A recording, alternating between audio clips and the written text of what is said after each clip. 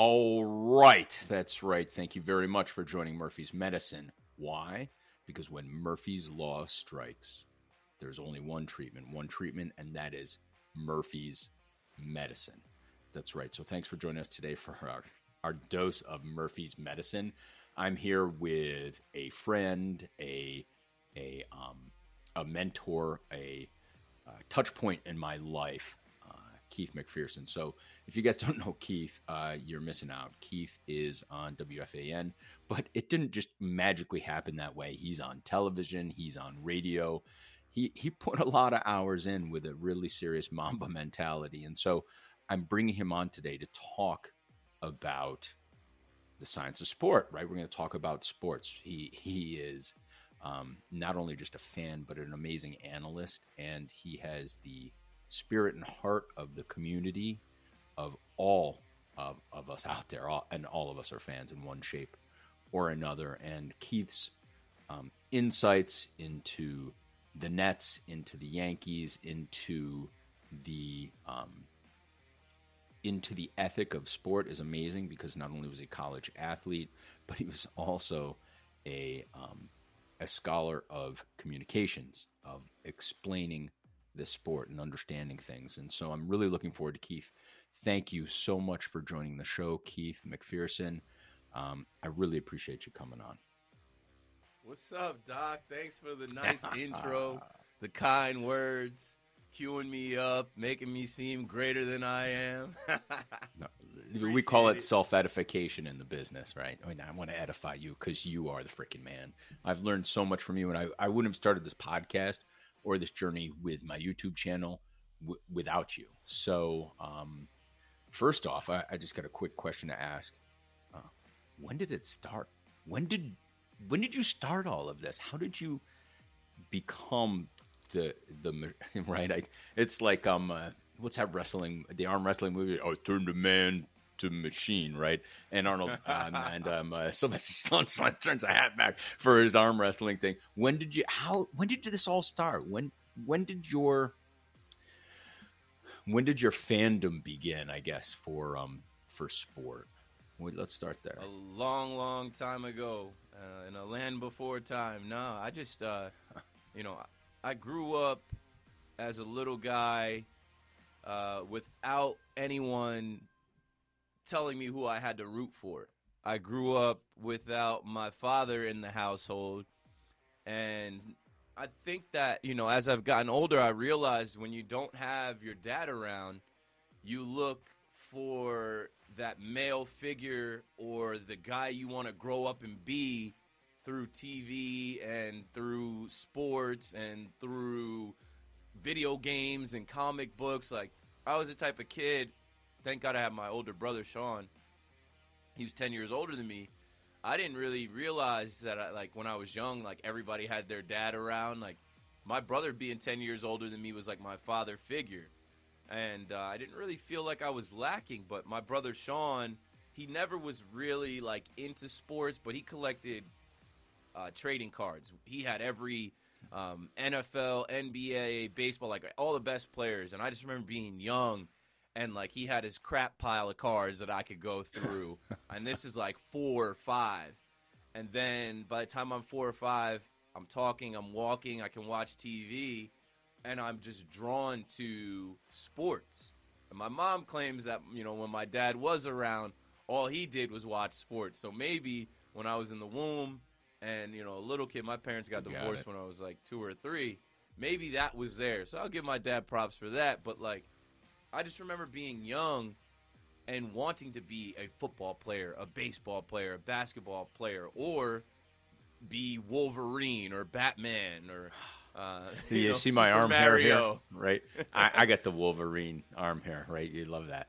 Super Mario, really? You big yeah, Super Mario loved, fan? loved, loved uh, playing you know video games with my brother when I was young. Super Mario uh, on on Super Nintendo, and then when N64 came out, the game changed. But you know what it was too? Going to school in first grade, kindergarten, you start talking to kids at that young age. Who are you a fan of? You a Yankee yeah. fan? Yeah, of course I'm a Yankee fan. Yankees are winning the World Series. and then you you have these starter jackets and these ball caps and uh, mm-hmm. you know you're you're in recess and everybody's representing the team that they like or root for. A lot of these kids are born into Jets fandom or Mets fandom because Yeah. their dads put them in there.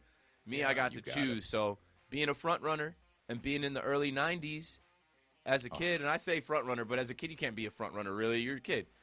The Yankees were winning, the Cowboys were winning. So those were the first two teams that I latched onto. They were Americana. They were pop culture. They were in commercials. Uh, the got it. Yankees were on Seinfeld. You know, Emmitt Smith, Troy Aikman. These guys are on TV. I became a fan of the Yankees and the Cowboys, and then I started playing sports at a young age, and uh, that's really where it started for me. Around four or five years old, Nice. early '90s, um, just getting into sports and, and looking up to athletes, looking up to these guys, and thinking, hey, maybe one day I could grow up and be like them. You know, I, I'll tell you what what's amazing about it, and, and watching you kind of develop is you picked your colors, right? I mean, if you really think about it, Cowboys colors, Yankees colors. Maybe blue and white, really, yeah. I, I mean, we're I so I, I say that because I'm a Penn State fan, right? So I I I went to Penn State, and so I just just it's nice to see that color scheme kind of continue Love down Penn the road. State, man. I Yeah, went to dude. Monmouth University, which are like they're same colors, blue and white. Yeah, And Coach Callahan like modeled a lot of his things, even the uniforms after Penn State. I wasn't good enough to go to Penn State, but I got invited to the Nike Combine, and I Oh, went to no Happy way. Valley. Yeah, that was a great Oh. experience. Like LeSean McCoy was there, Joe Haden, Myron Rolle, a couple other like top guys that made it to the Yeah. NFL, and actually my teammate Louis Eliades, uh, he, he Mhm. played tackle for me. He went to Penn State, so I got to go Oh, there nice. and and see how they rolled out the red carpet for him. I was Oh. like, man, this school is nuts. Like I'll never forget riding into Penn State. There's like farms, and then next There's you know nothing. yeah, then it pops up, and it's like, okay, we're here now. Like I Right. I, I recognize this from TV, and it's it's Yeah. crazy. You just see we are Penn State, and uh, that Yeah. stadium is ridiculous. They let us go see the field, and I was just like, man, I'm not good enough to play here. But uh, you know, I always respected awesome. Penn State. I remember we had these decals of like Penn State, Notre Dame that my mom let me put on on my window when I was a kid. And so just that Penn State logo is such a clean Oh, logo awesome. the Nittany Lion. totally. I think Oh, yeah, everybody respects that look.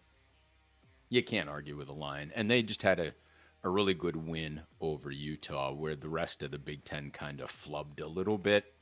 And a lot of that I'm going to, I'll tell you, I'll, I'll give to, um, I'll give props to James Franklin, right? And his Mm-hmm. job of recruiting young athletes, you know, just like you said, is a fandom.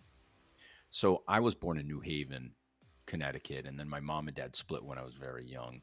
And for a while, my mom was the single mom.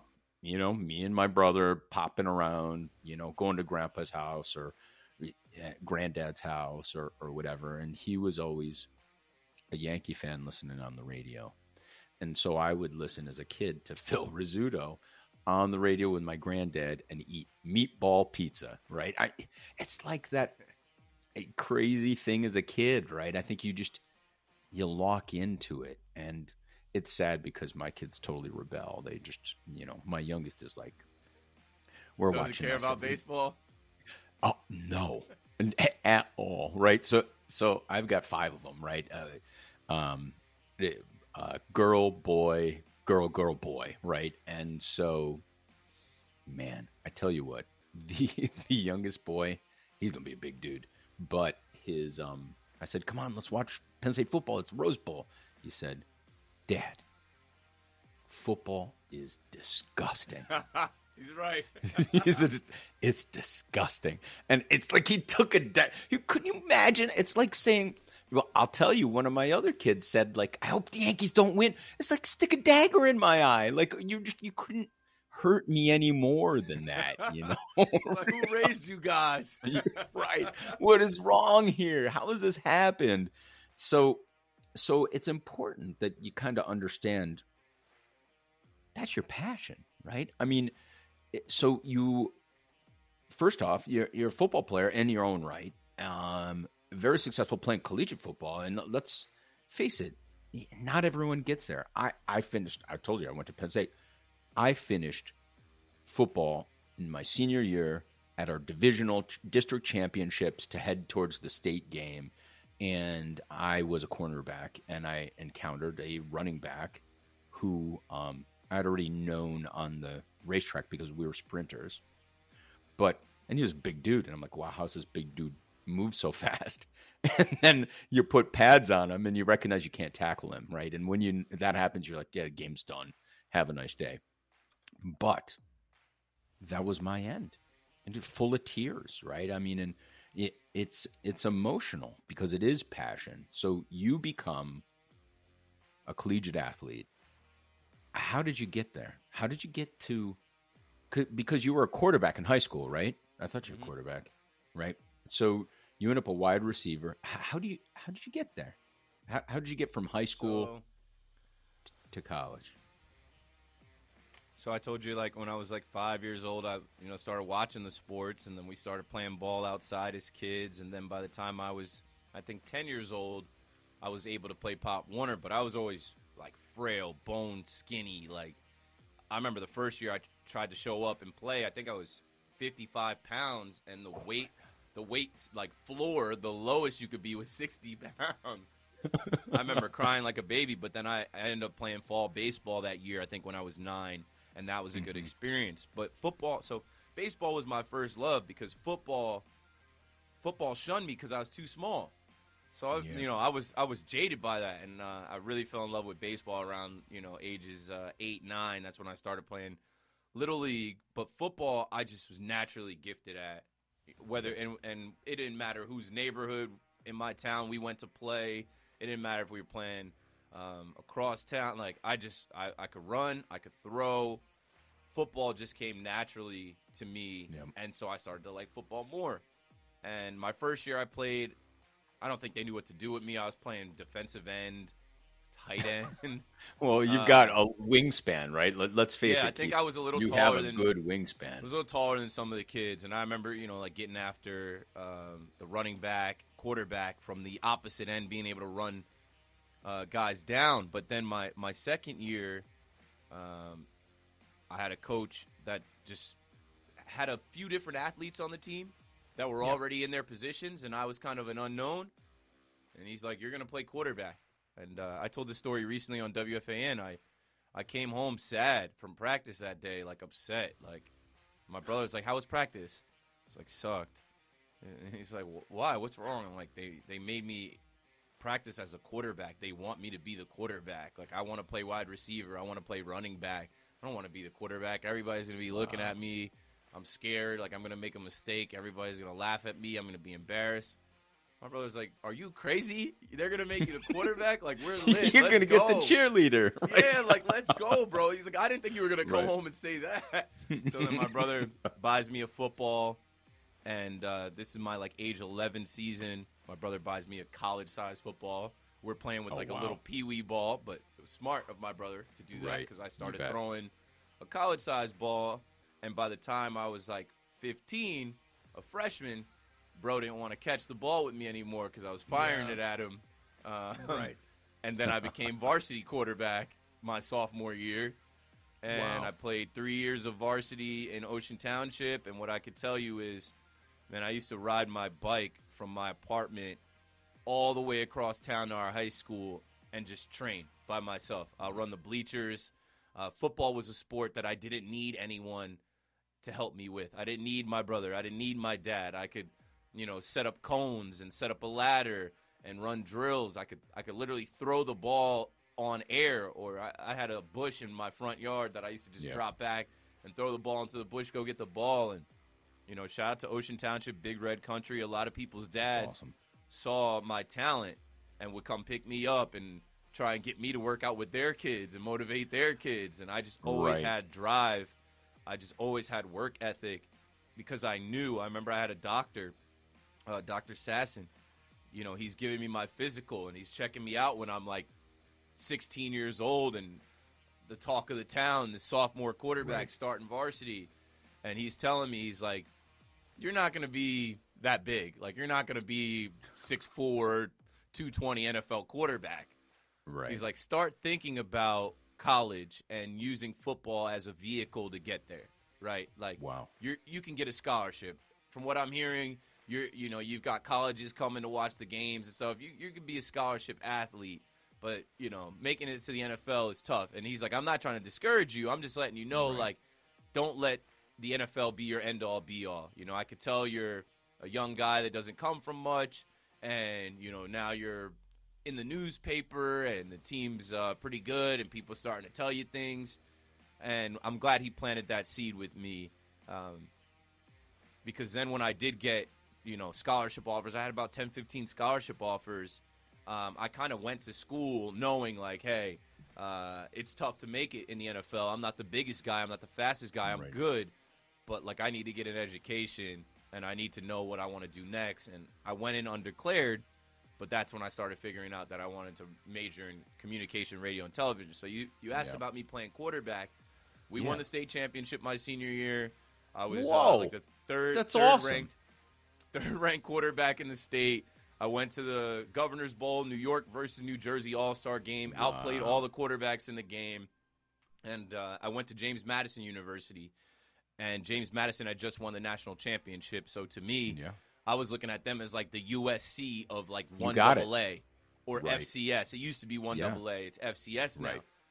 And it was the furthest scholarship I had from New Jersey is going to Harrisonburg, Virginia. Wow. And I just wanted to get far away from home to experience what it was like.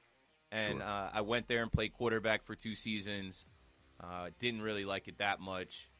Transferred What- to it- Monmouth University, and when I transferred to Monmouth University, I just wanted to come back home, and I knew Yeah. that they had WMCX 88.9 FM on campus, a radio station on campus, oh. and then they had Hawk TV, a TV station on campus, like a like a college one, but like Right. for me, I knew they didn't have exactly that in Virginia, and I also knew like I just I don't I don't know I just had this in my head. I'm like, if you get a, a degree out here, where are you gonna go work in Richmond, Virginia, or Right. Newport News or something? I'm like, nah, I want to be. They, they don't cover the Yankees there. That's right, Exactly. Tidewater area. You're gonna you gotta deal with the Mets. no, I want to be in New York. So I knew Monmouth. Monmouth's main thing was like, you know, we're an hour south of New York City and one mile from the Yeah. beach. So Monmouth started offering scholarships. I, I was able to get a scholarship at Monmouth, and I came in and told them, hey, I'm not trying to come here and be your starting quarterback. I was third string quarterback at Right. I had to sit out a year. This is before the transfer portal started. Yeah, because you're you're like- a skinny guy, right? I mean, you're you're big, but you're you know. So I- did they like put weight on you? 185. Yeah, Yeah, oh I was like God. 6'1", 6'2", 180, 190 in the in the uh, press guide. But uh, I said, you know, I'll come in, I'll do what you guys want me to do. I'll return kicks, punts, play receiver, safety, whatever. it is. Like you know, practice squad. Like the first year, I was sitting out anyway. So if you need an athlete, a body, like I got you. And I, and I went and, and I did that. Um, but I knew pretty quickly, like, you know, I wasn't gonna. I knew like I wasn't going to break through. The first year I had to sit out. The second Yeah. year, and now like it's you know this is great. Podcasting is great because it makes you like dig back into like what happened. Rest in peace to my brother. On my 21st birthday, we went out partying, and him and I ended up wrestling. And he uh, locked up with me. He got the Yeah. best of me, and I took a step back off the curb and broke my foot in May of uh, 2009 and that was going into the season that I probably had the best shot to start at, like a slot wide receiver, and Right. that changed my entire summer. I couldn't run, Wow. I couldn't couldn't work out the same, so I went into camp hurt. I went into camp Yeah. not ready to go, and uh, you know after that season, I had one more season, and I ended up giving my scholarship back my fifth year, and I just Yeah, said, wow. listen, I'm, you know, I'm not going to Yeah. crack the starting lineup it is a lot to be a student athlete and then also i was a dj so i'm djing in the bars i'm djing in the Yeah. parties at night That's awesome. Uh, oh my god. it just, i just had a lot going on and something had to give and i knew i wasn't making the nfl i played with guys like uh, chris hogan um, he Yeah. came to monmouth from penn state there's another Yeah, uh, you got it. there's another tie and, and I There were a lot of with- people that ran between there, Keith. You know, and yeah monmouth and, and penn state Yeah, they poach kids. Penn State poaches kids from New Jersey all the time, and especially Monmouth. Like, Sure. just very common. uh, eric mccoo um, Yep, you got it. coming I out actually, of red bank I, that dude, big dude. Like I knew Eric, um, and it wasn't so much that he was, he wasn't big this way, but he was two men, Yeah. right? He his width. He's a sturdy guy. He he was a, Yeah. a beast running the ball. Yeah, And, no uh, doubt. Yeah, so you know that's my college story. Uh, you know, thank God that I just kind of followed my gut always, and I had this overarching feeling. You know, I played with guys that I knew. Uh, they, you know, they weren't that smart. They didn't speak that well. Like they had, it was football or nothing. They had no real other options. I knew very early. Oh, I have other options. Um, and I always loved other sports. I wasn't just a Right. football guy. Like I love basketball. I love baseball, and I'm able to yeah, speak I did, about it, I talk didn't about get it. Into, I didn't get into a little bit of that. Did, did so? Did you play baseball in college too, or no? No, so I played baseball, and I wish I played longer. Uh, my next door neighbor ended up going to University of Virginia, and I remember Oh, uh, wow. his dad. They used to always be at the field or going to the cages or going to drill or just work on stuff. And his dad, you know, would tell me, "Hey, man, you could be a pretty good center fielder. You should come with us." I went to practice practice with them one time. You do. You look He's like hitting- a center fielder, hitting- man.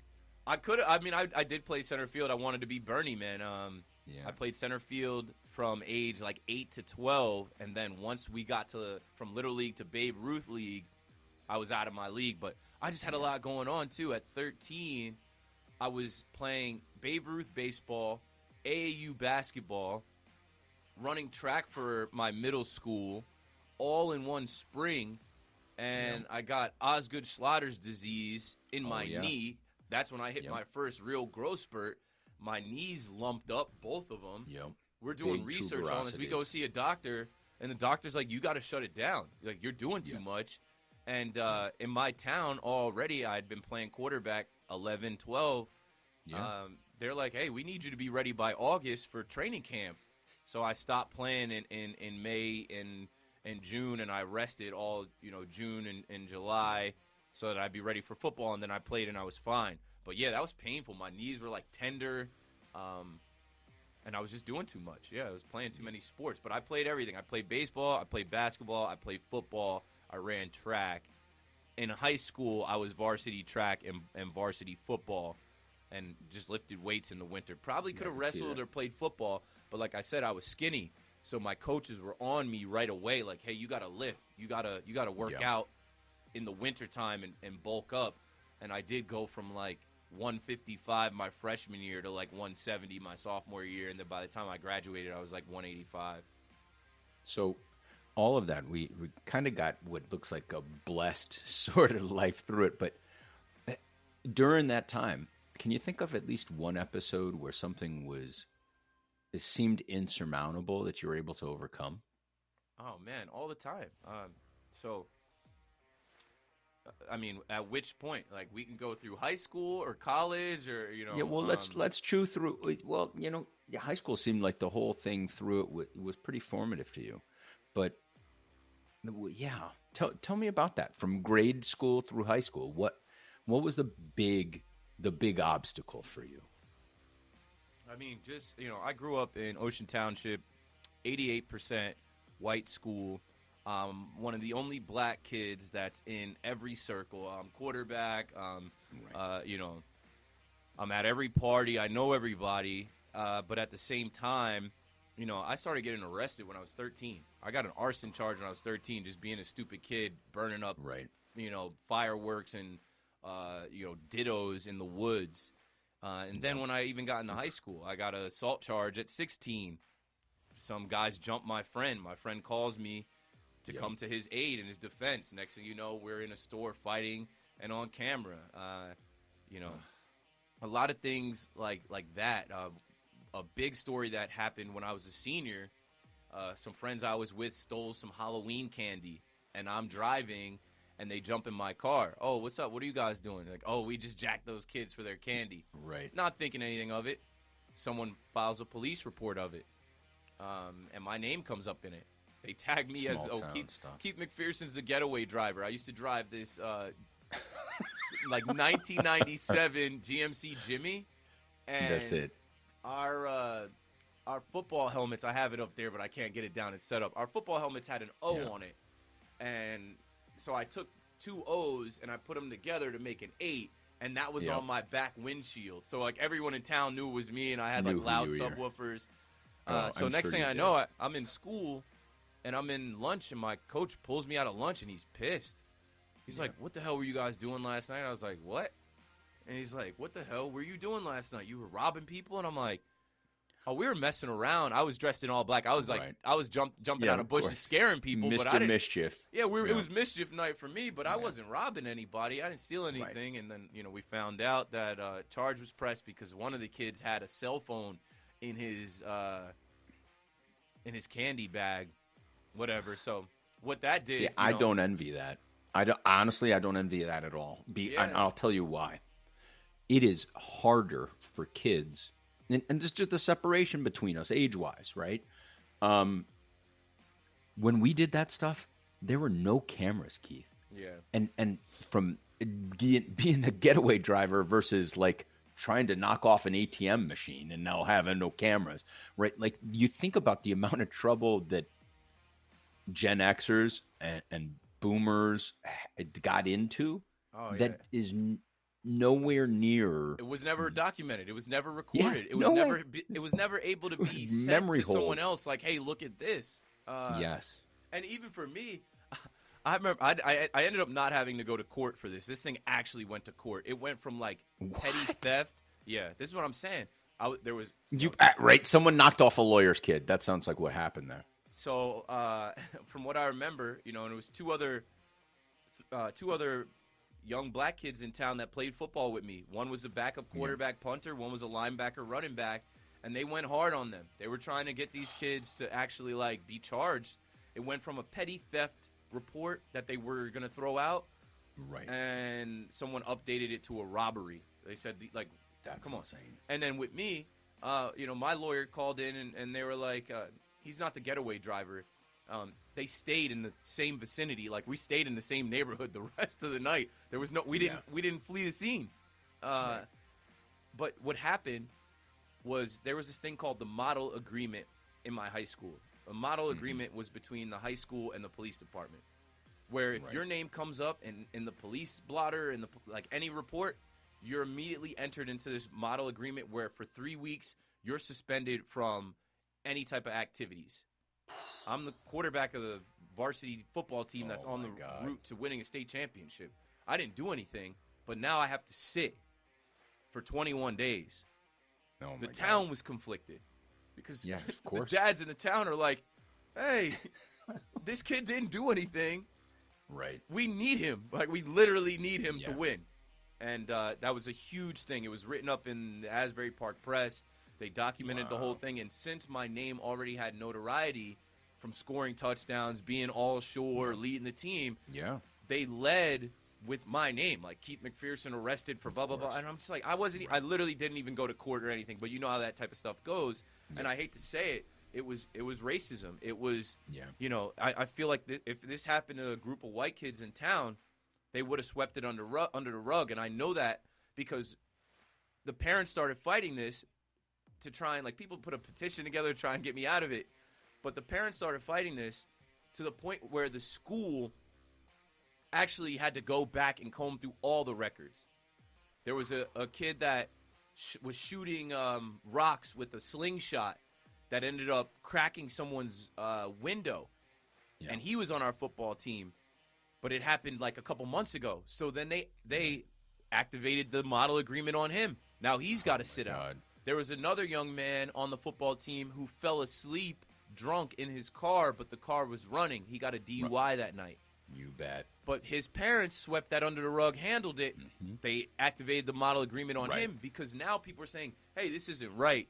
You guys Right. took, uh, you know, these young guys that were just messing around on Halloween, doing what kids do, and you elevated that to a robbery. Now our football team is is Yeah. uh, not going to win, right? End of the story. and I, that's I wish. I had the uh, newspaper. I, I sit out Yeah. the first two rounds of the playoffs, but in practice, the Mm-hmm. defense has to go against me. And in practice, I'm a coach least to the good. backup quarterback where I'm preparing these guys. I'm like, if you guys Right. can stop me in practice, you can stop Brett Brackett, another Penn State tie. Brett Brackett, who went to Penn State, we played against him and his Lawrenceville Yeah. team, and he actually was all state quarterback with me. He was number one, I was three. But I Yep. remember in practice being like, if you can stop me, you can stop Brett Brackett. Right. Ocean was That's able to advance the first two games. I came back our Thanksgiving game, which is in between the playoffs, and then I was Right. able to play in the state championship game. Ran for a bunch of yards, threw for a bunch of yards, had a couple touchdowns. We won the state championship, and then the whole spread was the story about how they tried to they tried to knock this kid down. They tried to put Yeah. this kid out over some nonsense. He fought through. He helped his team. Right. Showed up to practice, prepared the team. I gave a whole speech to the team like, "Hey, we're not losing. Yep. They're going to think that we are lesser than we are because I'm not there. The rest of you have to step up. My running back, who was my best friend at the time that I actually DJ'd with, he went off for 256 yards against Brett Brackett's Lawrenceville team when I wasn't playing. I told him, I'm like, it's all you, bro. There's no decoy. Like, Yeah. you're going to run the ball 30 times in this game. You have to Right, carry the team. go. It was all it was all a, a movie. They could honestly have made a, a Friday Night Lights type of movie off of it, but we end up winning the state championship, and then I go on to take a full scholarship to James Madison, and and uh, all of that stuff now is is so deep in 2005, 2006. Right. It's now just a tale that they tell in town. Uh, about So what's the lesson? Like, what did- football team? What did you learn? Oh, the lesson was all of that? listen. The, there was a few lessons, right? Yeah. the first lesson was like watch who you're around and what you're doing because somebody else could get you jammed up i didn't even get out of the car so i never committed any theft but i got tagged as a getaway driver and i didn't leave the little town oakhurst which is where kenny pickett grew up we were literally like right down the street from kenny pickett's Yeah. house i didn't leave the area i didn't flee the scene but someone else got me jammed up okay and then I learned that was you know I learned about the legal system. I learned about Yeah. lawyers. I like I learned like you know more about how these proceedings go. And the next thing was just like, hey, things are gonna happen that you can't control. So control what you can control. Take even more control of what you can control. And like I said, I remember we had a team meeting. I stood up in front of the team and I'm like, you guys are gonna be without me for the next three weeks. But if you win, I'm gonna be back and we can win the state championship. And I looked, I remember writing out in our group all of the teams and their weaknesses and who I thought we could beat. And I'm like, you can beat them without me. I'm like, right now, everyone thinks that we're done because I'm suspended. But like, that is like a decoy. That is going to throw some Yeah. people off. What I learned then was like, control what you can control. I went to practice every day and I, and I balled hard. Where my friends wanted to fight me. Stop running so hard. Stop, stop completing passes. Stop Right. playing so hard. We got a game this week. And I'm like, I'm telling you, if you can stop You me in want this. practice, the game is going to be cake. And it was just triumph. It was not letting anything stop you. Um, you know, one of the kids I mentioned that was slinging the rocks with the slingshot, Yeah. they activated the model agreement on him. And so he just quit the team. Yeah. And I remember coming out of Ocean High School one day, and his dad is parked next to my car, and he's like, "Hey, come come take a ride with me," and I'm like, "All right." And so it wasn't a white van or like- anything like that. Was it? Nah, and, and I had known his dad. I had, I had met his dad. okay, all right, just making sure. Like but Yeah. but basically he was like keith like you're the guy and like you're like we can already see like you're gonna come back you're gonna fight through this whatever you're taking this all in stride everyone in town knows you didn't do anything but you're wrongfully like in all of Right. this my son quit the team can you convince him to come back and i was friends with his Right. son but i knew what type of guy his, his son was um i'm like i can't convince him of anything mike Yeah. like like he, if he, he quit already and he doesn't want to come back, he doesn't believe we're gonna win. That's fine. Right. But like we're gonna win. Like I'm like we're I'm like this is the Yeah, closest. we're winning. This is the closest we've ever been. This is the best team we've had. We came up short last year.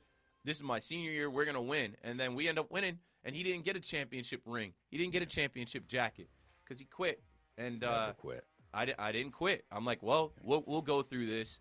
Uh, the 21 days will pass. The season will not Yeah. be over. I will return. And as long as my team is alive, they beat Lawrencetown and Brett Brackett, and then they beat an arch rival, the next town over, in Wall Township.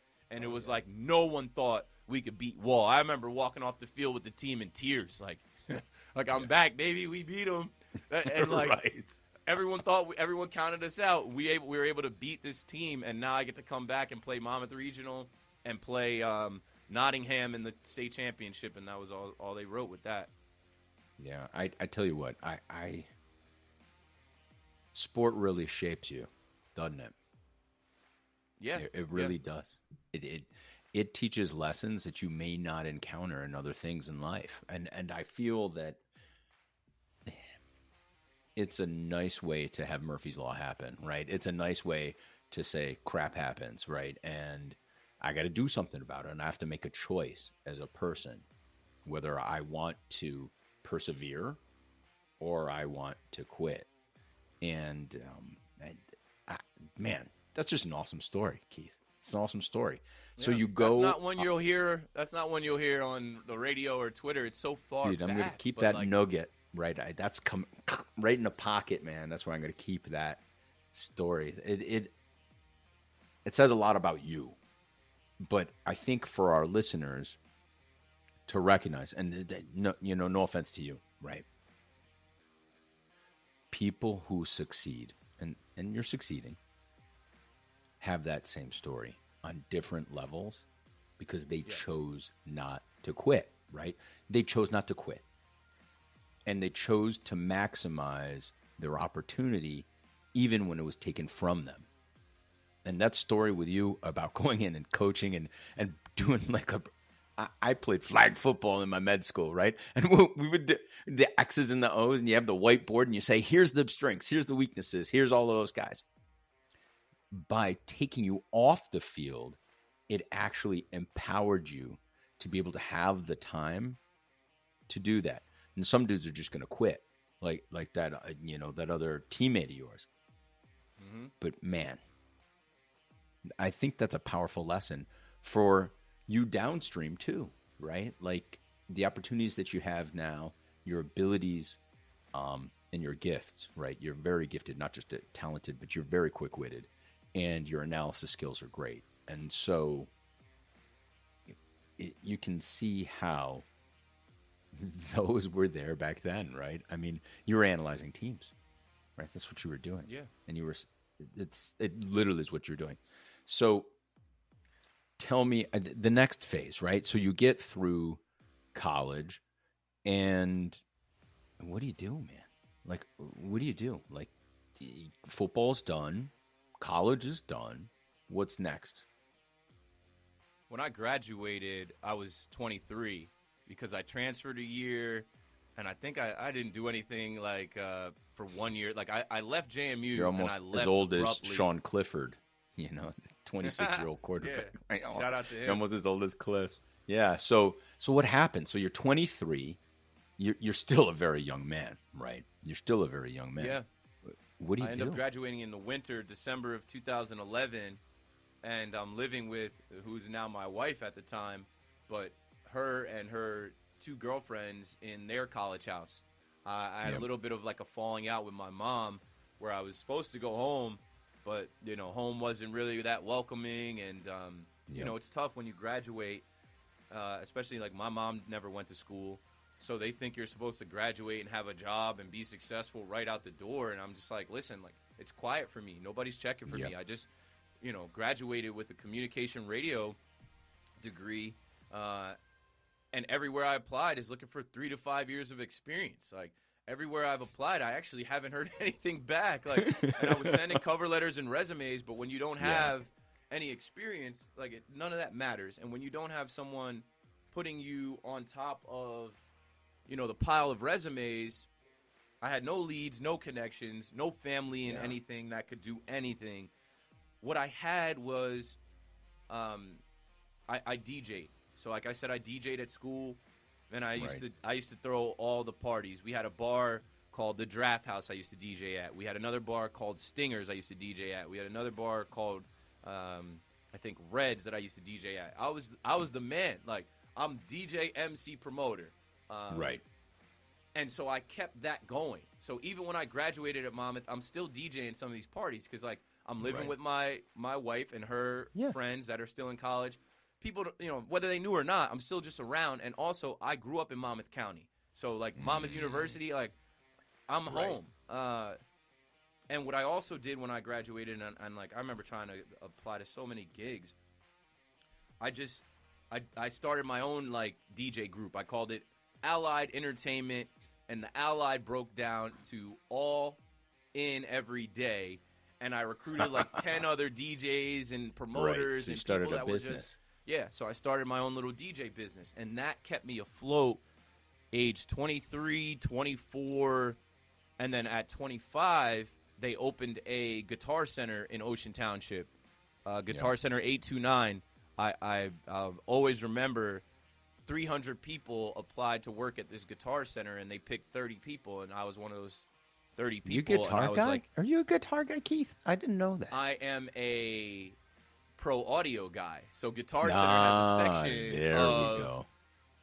loudspeakers, microphones, uh, Yeah. Scarlett audio interfaces, Yes. and DJ decks, Pioneer, um, you know, Technics turntables. I was well versed in that through DJing from age Ah. 15 to 25. I had spent the last 10 Right. years going to clubs and hooking up. Ten years, you're like an expert. You have ten thousand hours worth of audio yeah. I and I that still you probably didn't even recognize back then. No, right? Like, a, it was a passion. It was a love. It was yeah, something that got it. I picked up when I was in high school. My friend I told you who was my running back, his parents Yep. bought him DJ equipment when we were freshmen. He needed someone to help. Um, Yep. And actually, the kid that was shooting the slingshot, they partnered up first, and the, the kid quit on that. Oh, we're never going to make any money DJing. This isn't going to be successful. He they split the uh, equipment cost, and then he ended up selling it to the one guy, and he bought the whole equipment. But then he Right, so brought me on for free. Like you don't have to, you don't have to put any money up, Oh Keith. my god. What I did, I I used to hustle CDs. I used to burn CDs. I used to go and buy the stack of blank CDs and then go on Kazaa, LimeWire, BearShare, download Yep. music. I'd be in class. A girl passed me a loose leaf paper with 15 tracks on it. I go home, download Right, the tracks, bring her back a CD, Yep. five dollars the next day. He knew that I had a stack of CDs. I had all the music, and he was Yeah. DJing on CDs. He brought me in. Yeah. I, I started DJing parties with him at 15. You know, fast forward 10 years, I'm doing my own thing now. I have my own equipment. I'm working at Guitar Right. Center. I'm the leading salesman of JBL speakers in the Northeast. I'm selling like 10 pairs of Oh JBL God. speakers a week because people are coming in. I'm selling them the best quality, the highest Right. quality, the most Yeah. expensive. I'm killing it. Uh, I was one of the first people to build that Guitar Center. Like I'm literally like building the shelves and, and breaking stuff out and stocking the shelves. what do you Uh, think made you such a good that job. salesman? What do you think made you such a good I- salesman, Keith? I think I was just real. And to be honest with you, back then I was a heavy drinker. I always felt like I smelled like alcohol in there. My bosses definitely some days were like, "Hey man, like you smell like straight Jack Daniels." But imagine you're a DJ or a performer and you come into Guitar Center, and to your right when you first come in is a pro audio section, and there's a guy like me smells like he was in the club last night, Right. and he's playing with the Right. lights, he's dropping beats, and you come in and you ask him for help, and I'm personable. And so Yeah. I'm asking you questions. So what do you do? You travel with DJing or you setting up a, a venue or whatever? Okay, no. Just like follow me. There's a whole wall of speakers. Like tell me your price point. Tell me what you're trying to do and I'll show you and, and we can test them. What what type of music you like? Hip hop, EDM, country music, rock. All right, we, we can play that. I have it all set up. I can play the music loud for you. I was selling people. I'm like, and you know what? You're gonna need coverage on this. If it rains, if this stuff breaks, if someone damages your Yep. stuff at, at the party, you can come right back. I'm like, I was killing it, man. And and what I found was just that I was personable. I was real. People like people like came back to the store to kick it with me. Um, Yeah. and and you know people were spending money, and when they were doing the sales and stuff, they're you know I was I would show up hungover. I would show up smelling like alcohol, but I would work, and I would produce. And so my bosses never really said anything to me because they're like, this guy is he's selling the most stuff. Like he's he's Yep. he's turning the most profit, even though I was making like twelve dollars an hour and like a small percentage on e- on every sale. But yeah, Yeah. um, I worked there at 25 for not even a year, and um, this is a good spot to pause for your next question. But uh, Yeah. the MLB Fan Cave was doing auditions, and I'm working Yep. at Guitar Center, and I sent in a, a little two minute video. Hey, I'm Keith McPherson. I'm a, a DJ on the Jersey Shore. I work at Guitar Center, and I'm a big Yankee fan. And I didn't even know what the Fan Cave was, but a girl from James Madison University reached out to me, and she's like, Mm. "I always see you with a Yankee hat. I I saw you were at a Yankee game this year. There's this MLB Fan Cave, and I work in casting for MTV." Oh. you should submit. You should apply. Yeah. And I'm like, what's the fan cave? I remember seeing the fan cave on like Baseball Tonight and Right. A couple other one-off things, but I thought it was like a place, like a public place people could go and buy jerseys and hang out. Right. I, I'm like, apply for what? They're like, they're casting fans to like Right. experience the fan cave. You would be great to represent the Yankees. Yep. So I applied. and the rest is no. I there's a lot more to There's it than the rest more, is but history, that's, right? That's where that's where we started to to turn the fire So- up a little more. Like I got out of my Yeah. hometown right. after that. Exactly. So you you go from a big fish, small pond to way bigger, right? Way bigger. Now, at that time, as these kind of you've nuanced through stuff, you figured stuff out on your own with a lot of hustle. Um, you must have had people that taught you. Like, did, did anyone teach you how to do sales at all? Did anyone mentor you? Yeah, so I mean, we had a we had a whole week of like a tutorial. Uh, you had to learn. Like Guitar Center is pretty legit as far as like they sat they sent someone in from Minnesota to teach us all. We had to learn the point of sale system. We had to learn. Um, we No, no, to no, Keith. You, you I'm talking about, hi, how are you? What are you here for? Oh, no. How can I help you? no Where did you learn that? no they You had to learn Um, that somewhere. Someone must have modeled you how to do this. Yeah? No?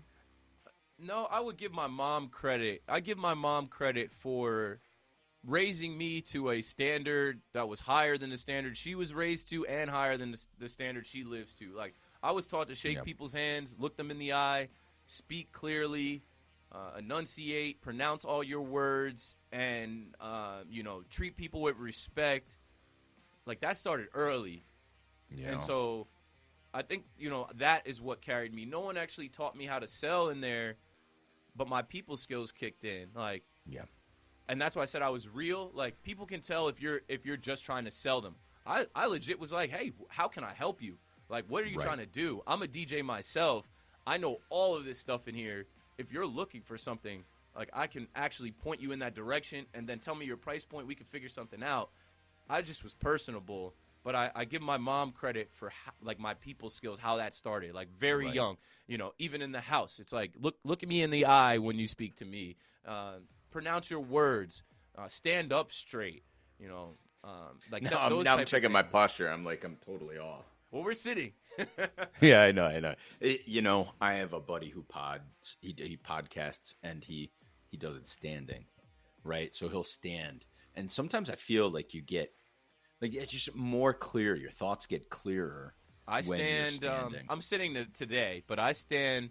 This is a stand-up desk. I can stand in here, and I stand when I do 95% of my WFAN shows. Yeah, no way. That's awesome. Opens up your diaphragm, your breathing, it. your lungs, and then also you can like like I watch Pat Pat McAfee. I I, I like saw him standing, and he gets so into it and energetic, Yeah, and that helps me. You know, um, I, I feel like I, I'm more into it when I'm talking, uh, Right. standing up versus sitting down.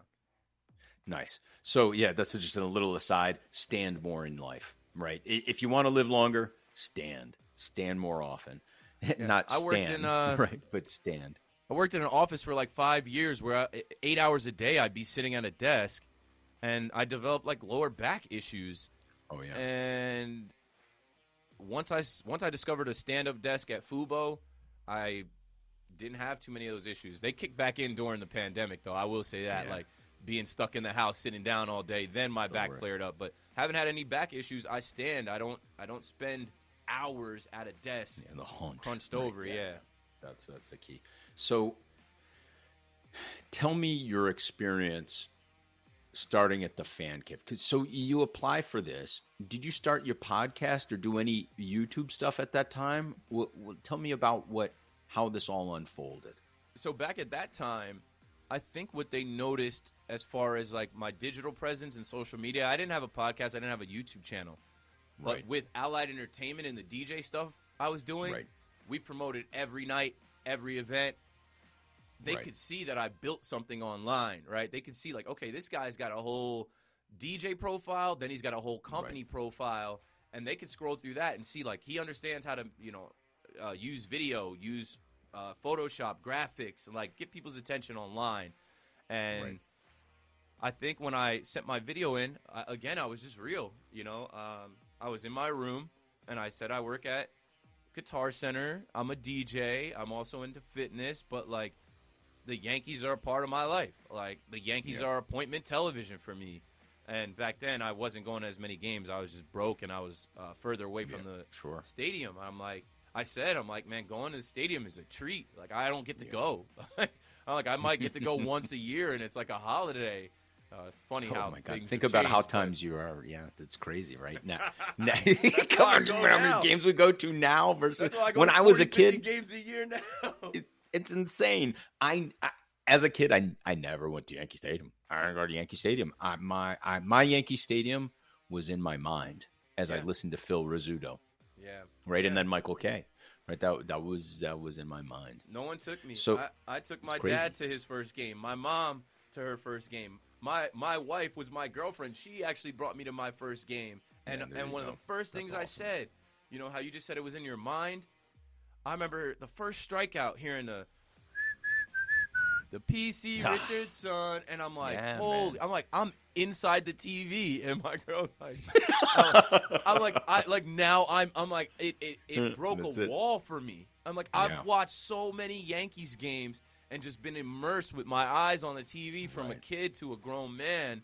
When I finally got into Yankee Stadium and and heard the sounds and saw everything, I'm like, wow, like I can come here and be in like it just broke a wall down for me and I Yeah. became a fiend after that. I remember that was 2011 and I knew I was late. I wanted to go to the games and stuff.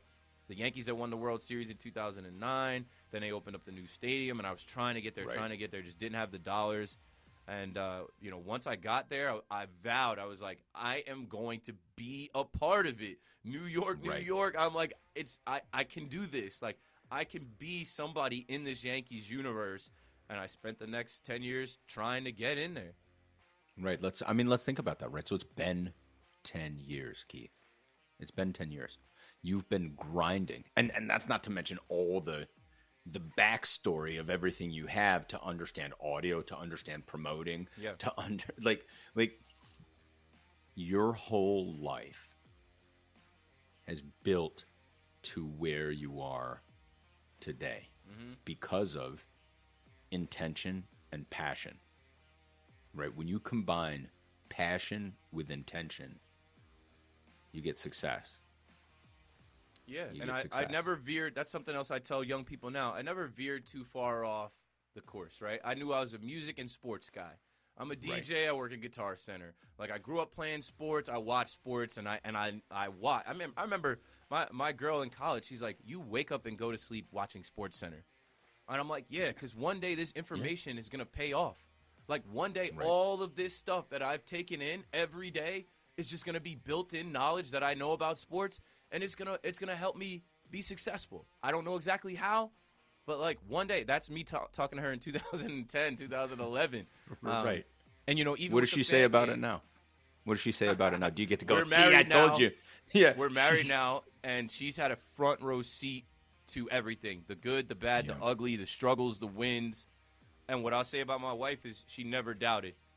People in my family doubted, friends doubted. I had people switch up on me, people change up on me, people look down on me when I was struggling, when I was doing other things. My wife just was consistent. She just always believed. She's smart. She she's a recruiter. That's her profession. So she finds So talent. she saw the talent. she saw something in me in college. Uh, she helped me in college. She drove me to campus. She woke me up on, on days where I needed to get to class or get to the Yeah. you know radio station to host. Um, she drove me to DJ gigs an hour away when I didn't have a car. Like she just knew. She so Yeah. I mean makes sense. That's a person that you you marry. That's a person that uh, you continue to build with because in some of my darkest times, in some of my times where I felt like nobody had me, she was there. And um, Yeah. it's you know I met her in college, and here we are in 2023 now. Uh, got married in 2021. Um, she's she's my best friend. She is my support system. I don't have too many people that I confide in or that even know as much about me as my wife does. But I always say she she knew and she never wavered. She never when I was working at a restaurant, when I quit jobs, like you know I I, I quit I quit MTV and I quit Roc Nation, and I didn't ask. Why'd you do that? Permission. Why'd you do that? Why'd Well, you do that? Um, I feel like now we're jumping all around, and this is why these these podcasts are interesting. Um, yeah, that's why I do it. So I was in the fan cave in 2014, and when I got out of the fan cave, uh, I had no leads again. So it was kind of like graduating college again. Like, oh, now I got to Mm-hmm. find a job. The fan cave was just one season, and that's cool, but like, it's not a career. Like, we made a lot of money in there, but like that money, I remember I left the fan cave with like twelve thousand dollars. And that evaporated in like three, four months. Poof. it's Yankees tickets, right? Thanks, Hal. Poof. yeah, gone. goes. And uh, Yep. so after the fan cave, there was a show at the fan cave every Tuesday called Off the Bat, an MTV2 show. Mhm. And I applied to a hundred different jobs. It was about five and a half months from October to February, and I, I, I couldn't, I couldn't land anything. I had a couple calls, but nothing was happening. So I was about to just start working at the Home Depot down the street from my mom's house in Neptune, and I I finally got a, a hit back, and it was from MTV, MTV2, and Brittany Travis. And shout out to Brittany Travis because I've been putting her name out there on these podcasts a lot. She remembered me from the fan cave. My resume had nothing on it besides um, Monmouth University, class of 2011, communication, radio, television, Right. MLB fan cave, and in between it had like Guitar Center, but that doesn't help you get the. you never know. You should put your sales metrics down there, right? yeah, I like even put like Allied Entertainment, you know, DJ'd and owned my own, Mm-hmm. you know, DJ company. But uh, she gave me a shot, and she said, she's like, I, I, I remember your energy. She's like, I remember you walking around the fan cave. I remember how you greeted people, how you talked to people, how people Right. received you. I'd never talked to her in the fan cave, but I remember Right. seeing her because she was a social media person. So she would take pictures of us, and she would be around. But then when I finally got into the Viacom building, 1515 Broadway in Times Square, I, I went to two rounds of interviews and I got the gig. I was hired as a social media coordinator at MTV2. Boom. Don't have to work at home um, at Home Depot, but now I got to commute from the Jersey Shore two hours to the city every morning. Fine, I will. I will Yeah. do it because like, what what are the other alternatives? I'll take this thirty six thousand dollar a year job at MTV Right. because that's an opportunity. Um, if I'm making thirty six thousand dollars at Home Depot, I'm, I'm gonna get trapped at home. So why Right. did I leave MTV? Because I grinded at MTV. I I, Yeah. I killed it at MTV. Tell me I- about that. I, I learned so much at MTV about the corporate world and about social media. It was my first corporate job in the city. It was my first social media gig where like I was Right. responsible for daily content and growing the following and um, you know raising awareness for our TV shows and our personalities. And I told you I was making 36. Um, I got I got up to making 50 and then 51 with like a merit increase. But you know what? I just got to the point there where like like I was working on Nick Cannon's show Wild and Out, killing it Yep. behind the scenes. Yeah. And they just weren't giving me any credit for anything. I wasn't getting Yeah. any raises. And There I was remember, no eh, like. There's no percentage. You you weren't on like a percentage anonymous. metric. You're Yeah. anonymous. You you Yeah. work in a social media position, and I these are two these are two straws that broke the camel's back. I had a, another social media coordinator that I worked with. His name is Tim. Shout out to Tim. That's my dog. MTV went through a round of cuts in like 2017. Something happened with the company. I don't know. And they fired this young man. And I'm on my way to work on the bus from exit 109 on the Parkway to Port Authority, and I get a text like, "Yo, man, uh, just wanted you to know I got let go today. Like, you're on your way in. We got a bunch of stuff that we had to do, but like, I'm out." And I'm just like, they didn't even check with me. Like Yeah. everything we do, like you and I do, like we're the whole team for this whole network, MTV2, Right. and all the shows. Like they didn't even check with me. And then when I came in, they talked to me, and they just assumed that I could pick up the slack. And I'm like, uh, my, like my checks aren't worth my, the amount of slack. So, like, so you're giving me a fifty thousand dollar bonus? You're giving me, yeah. they're not no. giving me anything.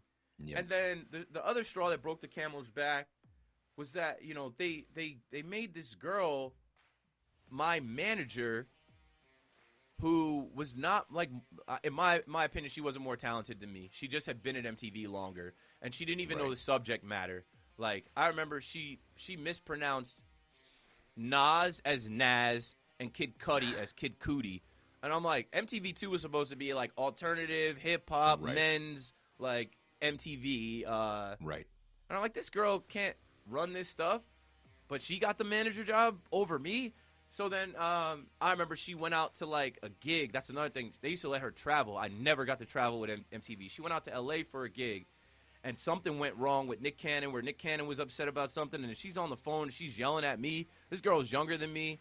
I'm just like, Uh, these people got Yeah. me effed up. Like I, I grind all day. Like they don't turn social media off. So technically I'm working all day, every day, even weekends, and we're Right. successful. So I just flat out came in one day and I was like, I'm done with this. I'm done. I, Yeah. I'm just like I'm I I was in the fan cave. I've worked here for two and a half years, and part of the reason I didn't leave was because I, I took advice from people that were saying, stay at Viacom, stay at MTV, climb the ladder, climb the corporate corporate ladder. You get experience, right? I also knew that when I came Right. out of college, everything was three to five years of experience. Well, now I have a year of experience at the fan cave, two and a half Right. years of experience at MLB. I can go somewhere. I wanted to get back into sports. I flat out just quit the job. Uh, I remember it was around the Fourth of July holiday where they were just like, whatever, don't come back after the holiday. It was like, cool, fine, like good See luck. yeah, figure it out. Figure it out without me. I'm literally the one that like I created the Wild and Out Instagram, Twitter, which now these accounts have millions of followers. I'm Right. the one that put the channels in place, right? I remember YouTube was getting bigger and Facebook was getting bigger as far as Facebook Watch. And I'm like, listen, you guys think that these kids show up for 8 p.m. Uh, Eastern time, 9 p.m. Central, or whatever? They're not. These kids want to watch Just stuff on demand. yeah. This is 2017. I'm telling them, you have to clip up the show and put it on YouTube, put it on Facebook, Right. and then keep loading those up where these kids press play and then they're given the next one. And next thing you know, three hours goes by and they've watched all the content. They're not Right. tuning in at eight o'clock. They have practice. They have other things. There is a girl that they're talking to. They're not. They're not tuning into linear television, and they were so stuck Right. on linear television. Like, look at MTV now. Like, nobody cares about MTV now. There's, Yeah, there's nothing no. on MTV. So I got out at the right time, and a lot of people got out at the right time. And I went to Fubo TV.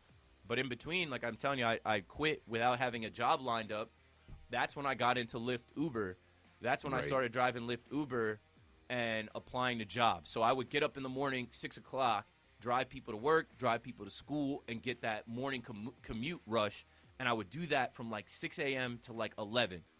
And then I would break to get lunch and go home and like check emails and apply to more jobs. Right. And then get back in the car at like 3 o'clock for the uh, commute home. And I would do that from like 3 to 6 or 7. And then my wife would be coming home from her job and I'd meet up with her to eat dinner. And I, I did that for a month. I grinded and did that for a month from uh, July, mid July, after the Fourth of July break until like August, and then I started at Fubo TV as their first social media coordinator, hired startup company back then. I think I was like Wow. one of the 80th, 80 something employees that they hired, and I started working there. So why did I quit MTV? I felt disrespected. I felt Yeah. undervalued. I felt underpaid, and you know enough was enough. Where I just I quit. I jumped out of the window, and I come home and tell my wife I don't have a job anymore. Um, they're gonna pay me out for two weeks or whatever, but don't Right. worry. Like I saw an email that said if you complete hundred rides in 30 days, uh, Lyft, Lyft will. Your backup. So My backup what's that, that? What's that number for truck masters, Mav? What's the number for truck masters? Yeah, I got Mav? a commercial driver's license. Nah, I just was like, I'm gonna Right. grind, and Oh my god. Uh, I, I got an extra bonus thousand dollars for completing hundred rides in 30 days, which I really did in 19 days because I went to my orientation and I didn't realize the clock started after you walked out of orientation. Oh. And then I checked Oh. the app and it was like, you have 19 days to complete this. And I hustled, I grinded to get to that point. And I also sold like collector's items that I had, Jordans that I had, furniture that I had. I used to hustle on Facebook Marketplace, on Craigslist, meet up Right. with random people just to make a buck. Make- But I make a knew it was all um, a means to an end. I knew I always knew in my mind it was temporary. I I used to drive Lyft Uber and have a business card in my middle console because people will ask you, "Oh, this is what you do professionally? Is this your career?" Hell no.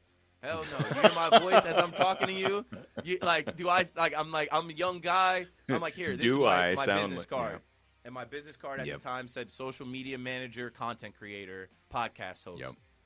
That's great. Yep. That's we're, we're getting there. We're getting we're getting closer to modern day. See, we're we're peeling closer to modern day peeling layers off that onion, right? And I'm learning more about you, right? And I think that's probably one of the key things, I guess, that I want not just for guests, but like for just general good humans. You want to be a good human? Learn about the people you interact with. Learn about who they are, what what makes them go, so you can learn from their mistakes and also commiserate with them, right? And I think that it's and that again goes back to being a, fan and fandom. There is a level of commiseration that is, I think, it binds us as a humanity, as a society, and, and that's the problem that's going on in society. I think is just no one can be empathetic, and and that's that's a big issue. It's a big issue. And I mean, so, anyway, the the internet doesn't help with Oh. that because the internet is a No, I cesspool, know. and it's not reality. bad. So people are It's mean to each other on online. People disrespect each other online. They don't have empathy. You have people that are hiding online and saying vicious Yep. things, and they don't have to be held accountable for their words. Um, Right. Yeah. That's it. Not being accountable for your own actions and words. And that, that's again sports man. Right? You're accountable. You are accountable. The the the um, money is going to be counted. The yards are going to be counted. You are accountable. And that, to learn that at a young age, I, I think is I think it's what really benefited you well. So tell me about Fubo a little bit. What what what's the story there? Because I, I missed a little bit of that. And you know, I, I when I invited you on, I, I knew a little bit about the stuff that you had done, and we just kind of personality wise hit it off. But I didn't know about this stuff very well. So tell me what what is tell me the story with Fubo. it, it was brief. I worked there from August 2018 or 2017 to May 2018. So not even a year, but I love Fubo, man. Fu, Fubo fam forever. My Fu bros, like we started something. Like I came in to Fubo and they had hired or they had interviewed like seven different people for their first social media person, right? You, you know, at the Right. time they had marketing, but they didn't have someone that could like actually do Facebook, Twitter, Instagram for their Yep. brand. Right. And they had interviewed a bunch of people in the social media fields, but they didn't have what they were looking for. What they were looking for as a soccer, football, Fubo, fu- Right. you know, that's where they got the name. They were a soccer streaming platform that was bringing um, um, Americans the like Champions League, the Europa League, Bundesliga. Like, like we don't get that on Fox Five. right. But when they came to the states and they, you know, started up in New York City, they were trying to expand. Fubo is a monster now. But back in 2018, 2017 when I started there, they were trying to attract American fans of the four major sports in America, not soccer, right? They had the soccer community. But now to actually become a cable replacement, to become an over the top streaming option for cord cutters, they needed to attract fans of NFL, NBA, MLB, NHL. I come into my interview and I'm combing through their social media. They had two remote guys from Rom- Romania doing social media. Shout out to Razvan and Viju. Razvan Yeah, and nice. Viju ended up working for me because I come I come into my interview and I'm pointing out all the things that they did wrong in their social media, Right. and I'm also pointing out like they had an error that to me was like I felt like was unexcusable. It was an All Star Game photo of of uh, Cody Bellinger, and I guess they Mm-hmm. just made a mistake, but they had him written as uh, Josh Harrison. Completely different players, white guy, black guy, different Wrong. teams. And I'm like, how did you publish this? With How the did you get copy this? saying Yeah. that this is Josh Harrison? Like you must have copied and pasted it from like maybe some Getty images that you got, and you had the wrong Right. player, wrong whatever. Right. And and they were embarrassed. I, I combed through some other things. I'm like, this is incorrect. This should be done like this. They wanted to give me the job right away. Like, can you start now? Yeah. So when they hired me, I came in and I hit the ground running, and I built their social media up quickly. And what I did was put my sports knowledge into their brand, where people Right. didn't know who was behind the Fubo account. But I put Right. out polls of like, you know, who won the Heisman this year, or Right, you know, name this, blah blah blah blah blah. And then we would do prizes and giveaways. And I talked to the marketing team like, hey, let's get Fubo Fubo branded stuff to give away on Twitter, on Instagram. Like, you know, I just I just had it. I just knew what to do, uh, Right. and I crushed it there. I love Fubo. Dude, Uh, pinstripe pride before pinstripe pride, right? Yeah. That- I mean, that's the whole thing. They did pump the social media with the hashtags and the accounts. Hashtags, You're already doing that. Just making people feel a part of it, right? If you're a subscriber Right. to Fubo, we built a community online, and uh, I finally, you know, just got to a place where I was like, yes, like I'm working in sports, I'm working in social media, I'm in New York City at a startup where like the startup culture was awesome. Like they have a keg in this place, you know, they have a ping pong table in this place. Like it was different. It sounds like Jomboy's place before Jomboy had his place, right? For I mean, that's We'll get very there much as the well. deal. Uh, so Fubo for me was amazing, but eight months in, I get a LinkedIn message from a young lady at Roc Nation, Mm-hmm. and she's saying they're looking for a digital marketing manager Mhm. for Roc Nation Sports Agency. So now I'm like, oh, look at me. I'm about to start cooking with gas. I'm like, Yeah. it was less than a year ago. I was slaving away at MTV felt underappreciated. Yeah, Right. and, and and then you know had to quit that job and, and drive Lyft Ubers and be disrespected by people getting into my car telling me change Right. the station or drive faster. now Jay Z comes calling, so I'm like I'm lit. I got to go see what's behind this door, and Right. uh, I did. I did. I uh, I left Fubo, and I remember Fubo had a package set up for me, which probably would have been a raise, um, probably would have been some uh, some stock, uh, having some type of equity in the company, Right. and I, I turned it down. I didn't even want to look at it. They had this whole folder. I was like, sorry guys. I'm like I'm like thank you for giving me the opportunity. Like I'll forever be you know Fubo fam. I'll always rep the brand, but I have to go see what's on the other side of this door. I'm a, I'm a sports Right. fan. I'm a music guy. Yeah. I have to go see what's going on at Roc Nation Right. Sports and Music. It's a it's a record label and a Full sports agency. Yep, full alignment. And it- when you recognize full alignment, you just got to go for it, right? I mean, that like your lady that's been with you that whole time, and she's uh, aligned. Yep. Came home Right. and told her, "Hey, I'm quitting Fubo. I'm gonna go to Roc Nation." And we thought at the time, "Hey, this is, you know, dream job. You can't really get Sure. much better than this." Digital marketing manager. I think I was making like seventy or seventy-five thousand there. I was making Okay. like sixty-five at Fubo or sixty at Fubo.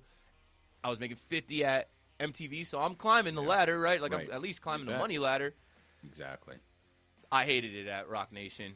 I think it was a combination of a few things. Uh, oh my God. it's twenty. It's 2018, and you, you mentioned Jomboy. Uh, I'm friends with Jomboy on Yankees Twitter. I'm friends with Joe's McFly on Yankees Twitter. I'm in the Right. Bronx Pinstripes crew. Right. Exactly.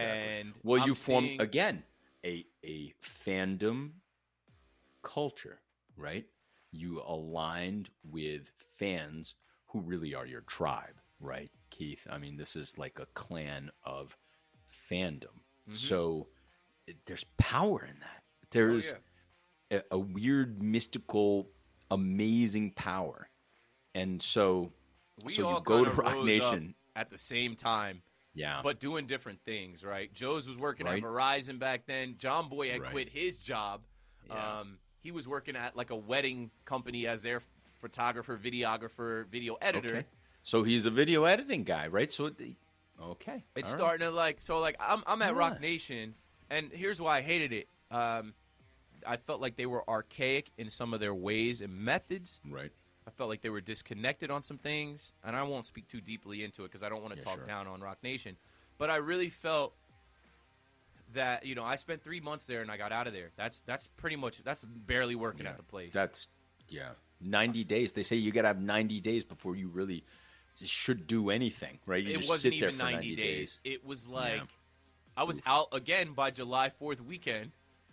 What is it? Is it you planning your vacations out? You just July like Fourth weekend, every year of my life, something happens. I got back Yeah. with my with my wife. Uh, July Fourth, twenty fifteen. We were out of college. I was out of the fan cave, and we weren't together. And Yeah, I, I'm not a numerologist, but you should probably you should, should tune look into, like those numbers, man. like you might want to look seventh into them. month, the Fourth of July.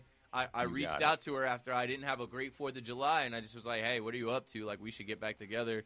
Not like that, but like we should get together and and you know check on each other and you know see how uh, things are going." And then that's when we started on, you know, getting back together and on the path that we're on now. But at Roc Nation, You know, it was cool to work with like I'm texting Todd Gurley, Geno Smith, Leonard Fournette every day. I'm working on their social media. But what I found was like these people work around the clock. They're texting you at midnight. Uh-huh. They're texting you at 6 a.m. This needs to be done. This has to be done. And I- I'm thinking I'm coming into a manager position where I would have some respect. I would have You're some grinding it out. some permissions. I would have some trust. Right. Everything we did on social media, they had to double, triple check. It had to be, you know, whatever. It just wasn't for me. And I, at Right. the time, I'm seeing people in Yankees Twitter rise with their podcast, with their content, Right. going to the stadium. I Correct. remember I escaped out of Roc Nation one day. I wasn't allowed to leave early, but I didn't care because I was going down to Philly. I was getting on the bus at Port Authority, Yep. going down to Philly to see the Yankees take on the Phillies Yeah. and it was Awesome. great. I ran into Joe's McFly there. I'm going live on Bronx Pinstripe. Uh, he's going live on his own thing, and we kind of Yep. just like I knew I see a, a familiar face here. Him and his boy Ram. Joe's is my You guy. have we'll to we'll, take risks, right? we'll You have always be uh, be linked. And Joe's had already went viral in 2017 for the whole Oh, yeah, Devers for reaction to the Chapman right, rumor that he gave up. Yeah, yeah, yeah. So this is the summer of 2018, and uh, you know I, I ended up, you know, I just, I don't know, I didn't feel like I got a lot of respect at Roc Nation, and I'm seeing people rise, and Yeah.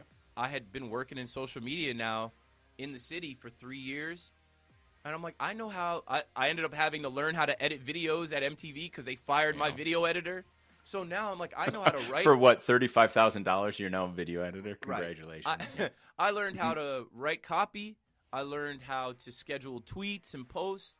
I learned Right. how to attack when there's something hot or trending, and I learned how to Right. edit videos. So in my mind, in 2018, they weren't even letting me do what I could do at Roc Nation because everything needed to be double, triple checked, and Right. you had to get permission and clearance, and somebody had, you know, somebody higher up had to like approve it. I didn't have time to wait on their approvals. I'm like, you hired me at a manager position, my approvals should be good.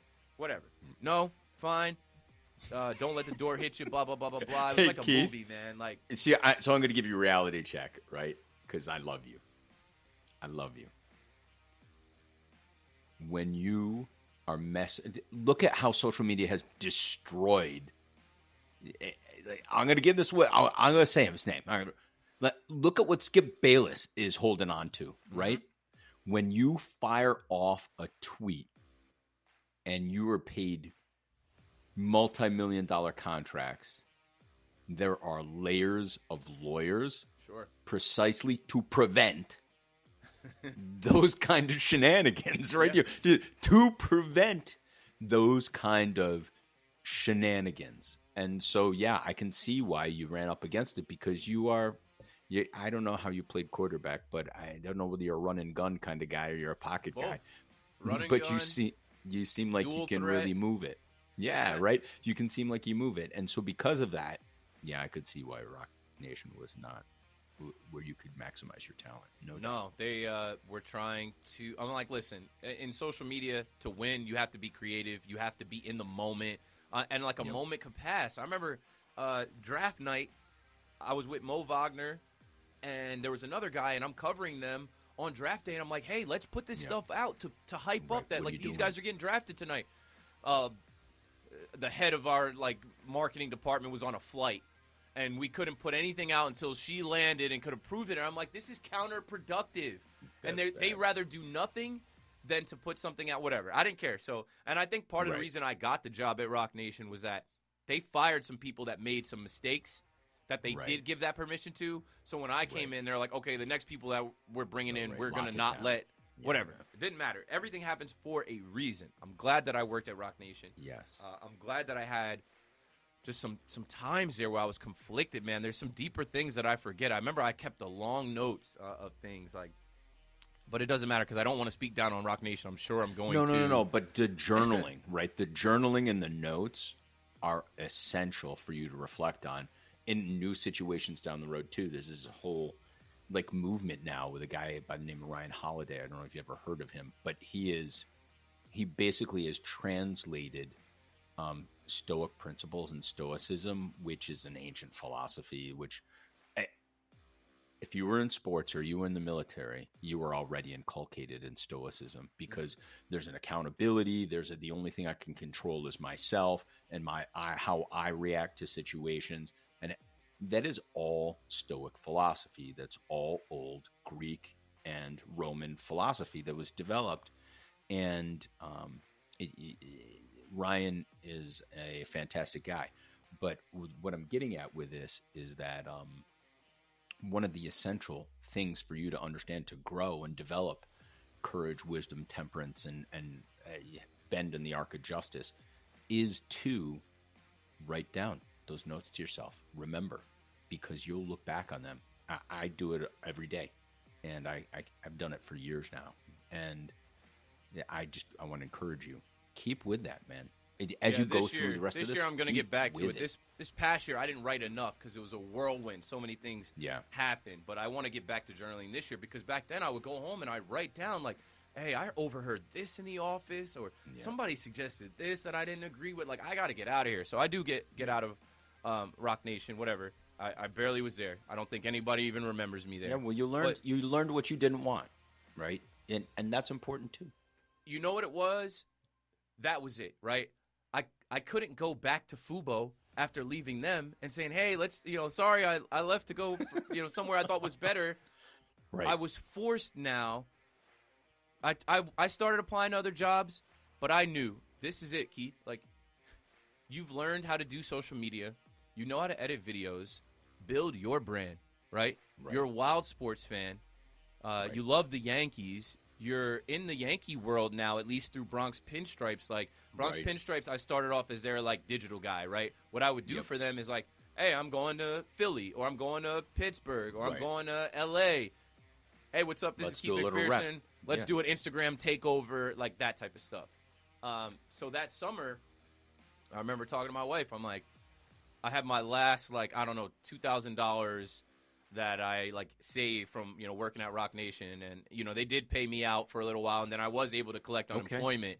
Okay. Um, so I'm applying to jobs, I'm collecting unemployment for like a week or two, but then I, I it clicked. I'm like, I'm going to buy a camera because this is before the phones had 4K cameras in them. I right, went and bought exactly. a Canon, like the top vlogging camera, yep. and then I got a new MacBook. So yep. now we're off and running where I can take this camera to Yankee Stadium. Hey, what's up, everybody? We're at the stadium. Blah blah blah. Make a vlog. Put that on YouTube. Right. I, I started building my YouTube channel then. Uh, I started putting more content on my Instagram. Put more content on my Twitter, and edited videos and started really just putting myself out there, building my brand. I remember I had this first video uh, where I was like, you know, I'm a wild sports fan and like I'm putting myself out there and I don't know if this is gonna work, but like I want you to get to know me and what I'm trying to do and that was 2018. And in 2019, is that I'm when still, you started rapping about DJ, or was that 2019? That was 20. I think the DJ rap that I had, and I got to get back to making more raps. I think that was during the pandemic because DJ. That was after yeah. 2019 yeah, season. Right. Yeah, uh, right. And I wanted DJ signed so bad. It's funny now. I'm like I'm looking at DJ like I don't know what this guy's got left, but at that point in time, he was exactly what the Yankees needed. But correct. Um, tw- so summer of 2018 passes. Uh, I, I, I go on some interviews and I'm striking out. I, I, I am conflicting the universe, right? I'm on one hand building my online presence, my brand under my name, Keith McPherson, right. Twitter, Instagram, YouTube. But then behind the scenes at home, I'm still driving Lyft Uber. Um, I'm applying to jobs, and I start working at this restaurant called House of Q. Never worked at a restaurant before, but I was barbecue place. Yeah, barbecue place in Weehawken, right next to the. What ferry. kind of barbecue? What kind of barbecue? Uh, ribs, um, brisket, chicken. I don't know. It was just. I think there's a House of Q now in Hoboken and one in American Dream. Okay. The one that I worked at doesn't exist anymore. But what happened then was maybe I, it's not good barbecue. right? Yeah, it wasn't that great. It was like I don't know. I, like yeah, it wasn't that great. Like after ten minutes, it's not good anymore. yeah, well, it's kind of barbecue that like you can't save. Like I would take home meals yeah. at the end of the night. and I'm like, this oh, isn't that no. great. Once it's not hot anymore, you try to reheat it. But um, yeah. I was losing my oh, mind. My right now, we are in uh, 2019, the beginning of 2019. I've been unemployed, and I'm I'm interviewing not getting jobs. I interviewed at Foot Foot Action Foot Locker two rounds. Was starting to tell people like, "Hey, I can get you discounts. I'm about to be the new social media manager of Foot Action." Right. They ghosted me. I interview in February at Major League Baseball, and I have connections at Major League Baseball Right. from the fan cave. They ghosted me.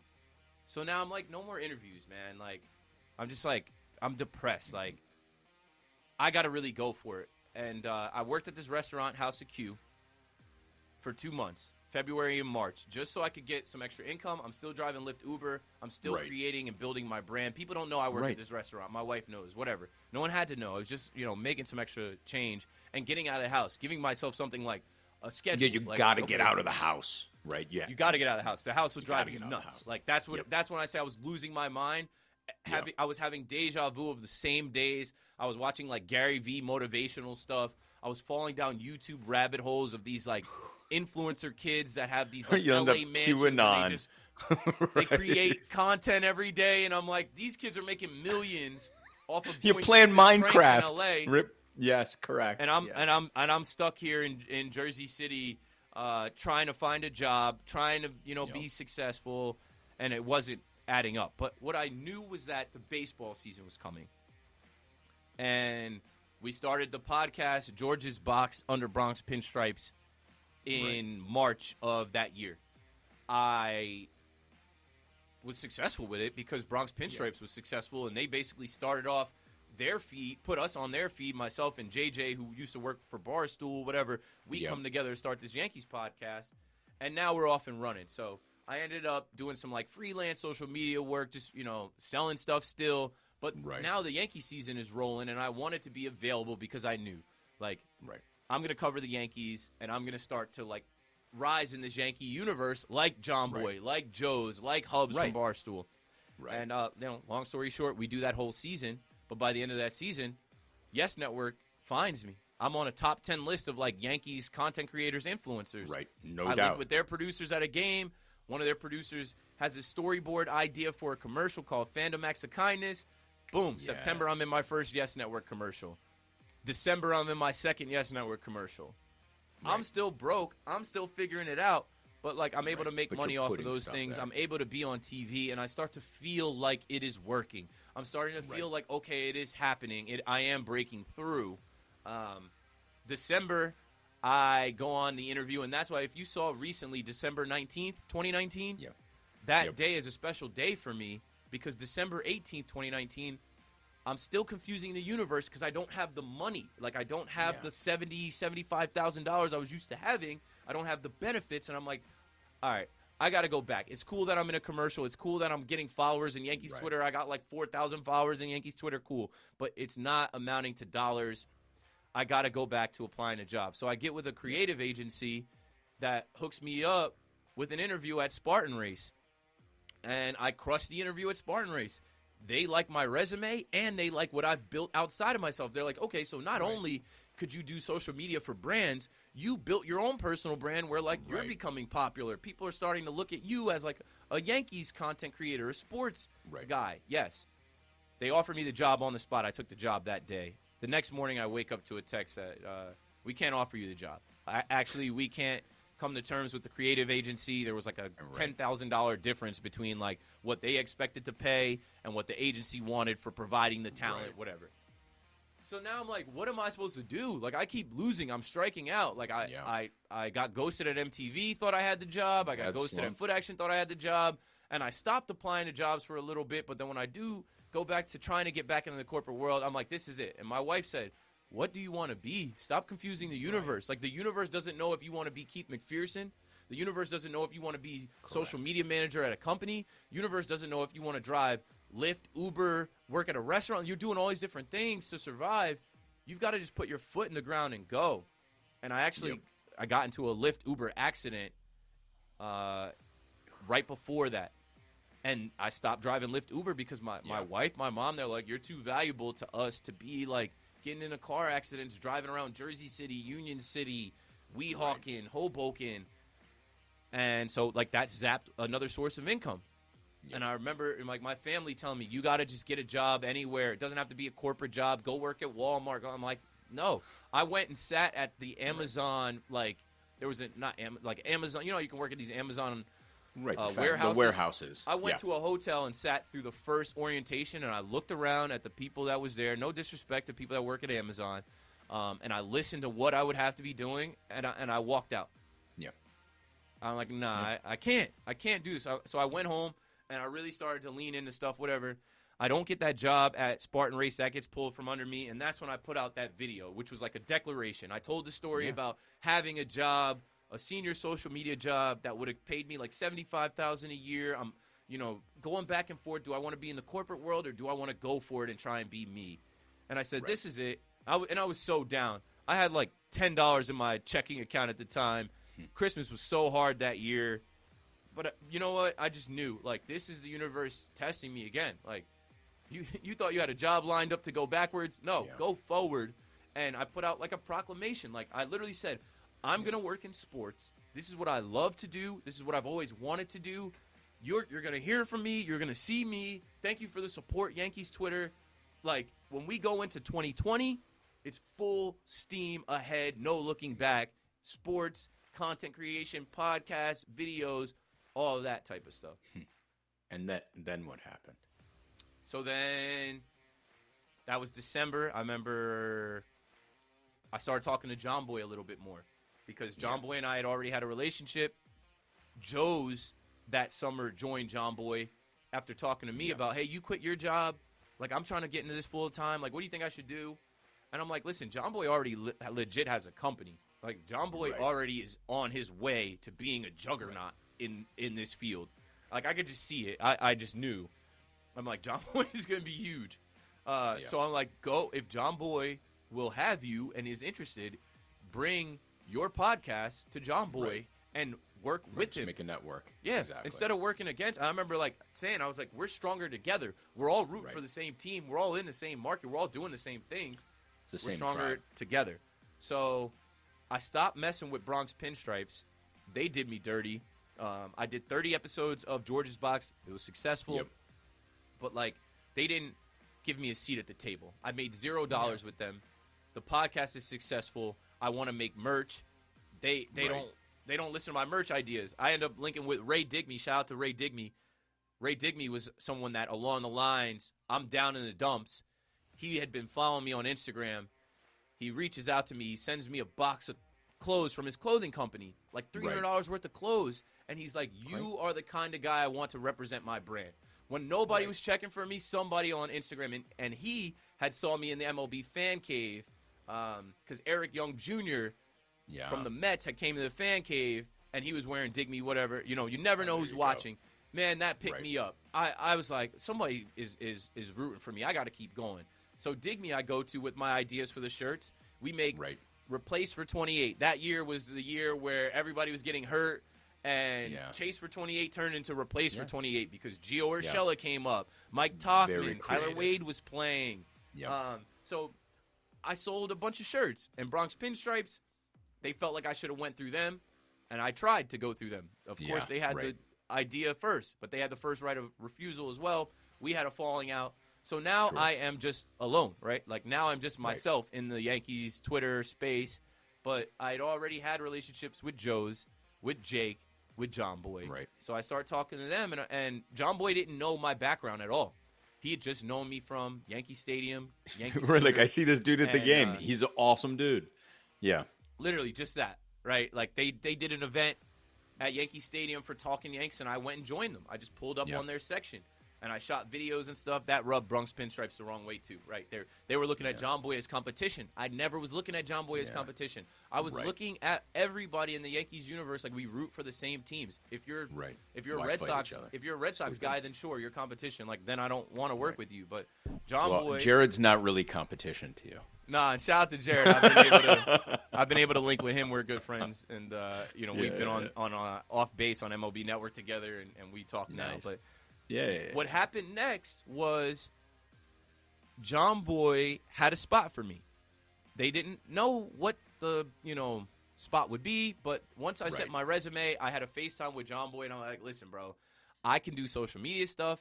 I'm already doing podcasts. My podcast with Bronx Pinstripe was successful. Maybe I start a podcast under you guys. What happened was I joined Joe's McFly's podcast, Pinstripe Strong, with him and Chris. And then I took what was an intern job, $15 an hour with Jomboy. Okay. $15 an hour, All right. better than nothing, right? Right, Better and you get to drive play and wiffle Uber. ball. And Yeah. right, I got to go kick it with guys that I had already been following. I'd already been Right, listening to Talking exactly. Yanks while I was unemployed watching Gary Vee videos. I also was listening to Talking Yanks podcast, Right. and I'm like, if these guys are doing it, I could do it too. And uh, you know, I always have respect for Jomboy for giving me a shot and bringing me on board with what he was creating, what he was doing. There was someone at Jomboy that had said, you know, that I came in and I'm coming in with my corporate experience. So I'm hitting Right. Slack, I'm hitting emails like, here's what we need to do, here's some numbers, blah, blah, Right. blah, blah, blah. And I'm changing Exactly. things right away. And someone at the company's like, hey, this guy has experience. He's worked at Roc Nation, Fubo TV, MTV. You're not going to be able to keep him at $15 an hour. Right. So I worked from. I remember we launched the Bronx office on January 17th, and the video had like me, Joe's, Jake, Jomboy. Like, hey, uh, Jomboy's moving from down the shore to New York. We're gonna be right down the street Right. from Yankee Stadium. We're bringing Joe's in. We're bringing Keith in. We're gonna just talk about sports and create content. So after we launched the video, I officially came on board at $15 an hour. I'm in the Jomboy office, like building tables and putting together chairs and IKEA style. Right. bringing in it. Yankees memorabilia to decorate. It was like grassroots, like a great time. I always remember that time. And then someone says you got to bump this guy up, so they did bump me up to like sixty-five or sixty-five thousand, which was Yeah. like a going rate for a social media manager in Right. in New York. And I was uh, tasked with building the Jomboy Media like flagship Instagram and Twitter, and I was the first one running that. But I was also doing podcasts uh, for the Yankees with Pinstripe Strong with Joe's, and then I was given the opportunity to build Talking Nets. Right. Which is a very big deal. And if- for those that don't know, um, Keith has, I, I, I think, in my mind, um, Keith has promoted the Nets to where they are, and don't, I'm this is not on the players of that stuff, but on the awareness uh, in, in in my mind in the tri-state area, Nets would not be where they are awareness wise without Keith, wi- without you. I can't take that credit, but I appreciate that. I'm stamp. telling you. I'm te- listen. I, I know a lot of those other guys. You ask around, and the other people covering the Nets. You ask the people that are broadcasting the Nets. Yeah. I know a lot of them. I know a lot of them. And and like I, I'm sure I there's one I was just texting with today who probably kicked me in the nuts for that and said that um and he's gonna be on the podcast. But um I'll tell you right now, your passion is what what seeps through, right? I mean, I and so and that that's just my conjecture with that. But more importantly, so what did you learn from all of that? What did you learn? Like you just told a fantastic tale. What did you learn? Remember, this is the keep next going. step. This is just keep going. Just keep going. It's gonna suck. It's gonna be hard, but like, take the road less traveled, right? It, like, you you have to go through it to get to it. At all of these stops, I could have folded. At all of these stops, I could have quit. I could have stopped going and stopped pursuing. But I just had in my mind, like, this is what I'm meant to do, and I'm going to get there. It's a means to okay, I'll take fifteen dollars an hour. I I knew what Jomboy was building was going to be fun, successful, and it was an opportunity again for me to get out of the house.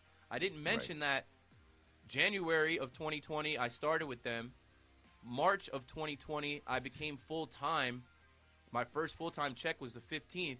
That same week we fell into the pandemic. yeah. That same week they stopped the NBA. That same week the sports were done. What are we supposed to do? We're a, we're a sports media company. Keith, What what, are we supposed you to do? We just opened an office in the Bronx that technically we're not allowed to go to. Right. What, what did you do? I, I locked in. Um, and I and I honestly think that, that this is, is part of what started my I don't know how to put it into words, but like my not seeing eye to eye with Jomboy and Jomboy Media. Because I remember the pandemic hit and I had like a party set up at Billy's. We had to cancel the party. And that's how I knew, oh, this is serious. We can't even have this kickoff party. And then Jomboy and Jake made this video where they're like drinking out of each other's water. They're like touching each other because at, at the at the start of this, we had just oh, came Right. from spring training. I remember Yeah. buying a six pack of Corona at spring training, saying if I drink enough Corona down here, I could be immune to the coronavirus. We did not know it was a meme. It was a joke. It was an internet thing. Mm-hmm. And uh, then it got real serious real fast. And I remember I was the first one in the company. I was like, I'm going to start self quarantining. I don't know what that exactly is, but I heard about it and like I sh- like I went home that night. I think it was March 10th or 11th, and and the city was eerie. Like my commute from the Bronx Yeah. back to West New York, there wasn't as many people on the bus. There wasn't as many people on the train. At like Yep. seven or eight o'clock at night, I'm like, okay, it started to get spooky out here. And the people that were there had masks on, and I had never really seen that many people. Right. Uh, so I'm like, okay, I, I'm not coming into work tomorrow. Then they canceled the NBA that day, and then it was my wife's birthday on the 12th, and that was the day that like sports stopped. Now officially, like NBA got canceled that night, the 11th. Now the rest of these sports are done, and uh, you know, Jomboy, Jake, and some of those guys kept going to the office, and it is what it is. But I wasn't going to chance that. My wife ended up getting COVID very early on, like April. Yeah. I wasn't going to chance That's it. I early. I'm not going to the office. I'm working remote, and I understand that you guys are building a company, and we all need to be together. But I'm just going to lock Right. in on what I could lock in on, which was Right. Pinstripe Strong and Talking Nets. So Yep. I was the social media manager for Pinstripe Strong. I was the social media manager for Talking Nets, and the host of the podcast. So every day I'm putting together content around the Yankees, around the Nets for both of those brands on Instagram, Twitter, Facebook, and then I'm bringing my energy into the show. Right. I'm doing that, and those properties are like fringe properties of Jomboy Media. John Yeah. Boy and Jake aren't in those shows. Mhm. They're part of the overall umbrella, but they are afterthoughts. They're not making any money for the company yet. Right. They are, you know, Right. they're not as important. So I think the disconnect started because um, I started focusing more on that. And as the social media manager, I had to delegate responsibilities for some people underneath me. Um, and I gave some of my responsibility to a young man that's working there still who crushes it named Kyle. I gave him the keys to the to the Jomboy Media like flagship handles. Like you run with this. Right.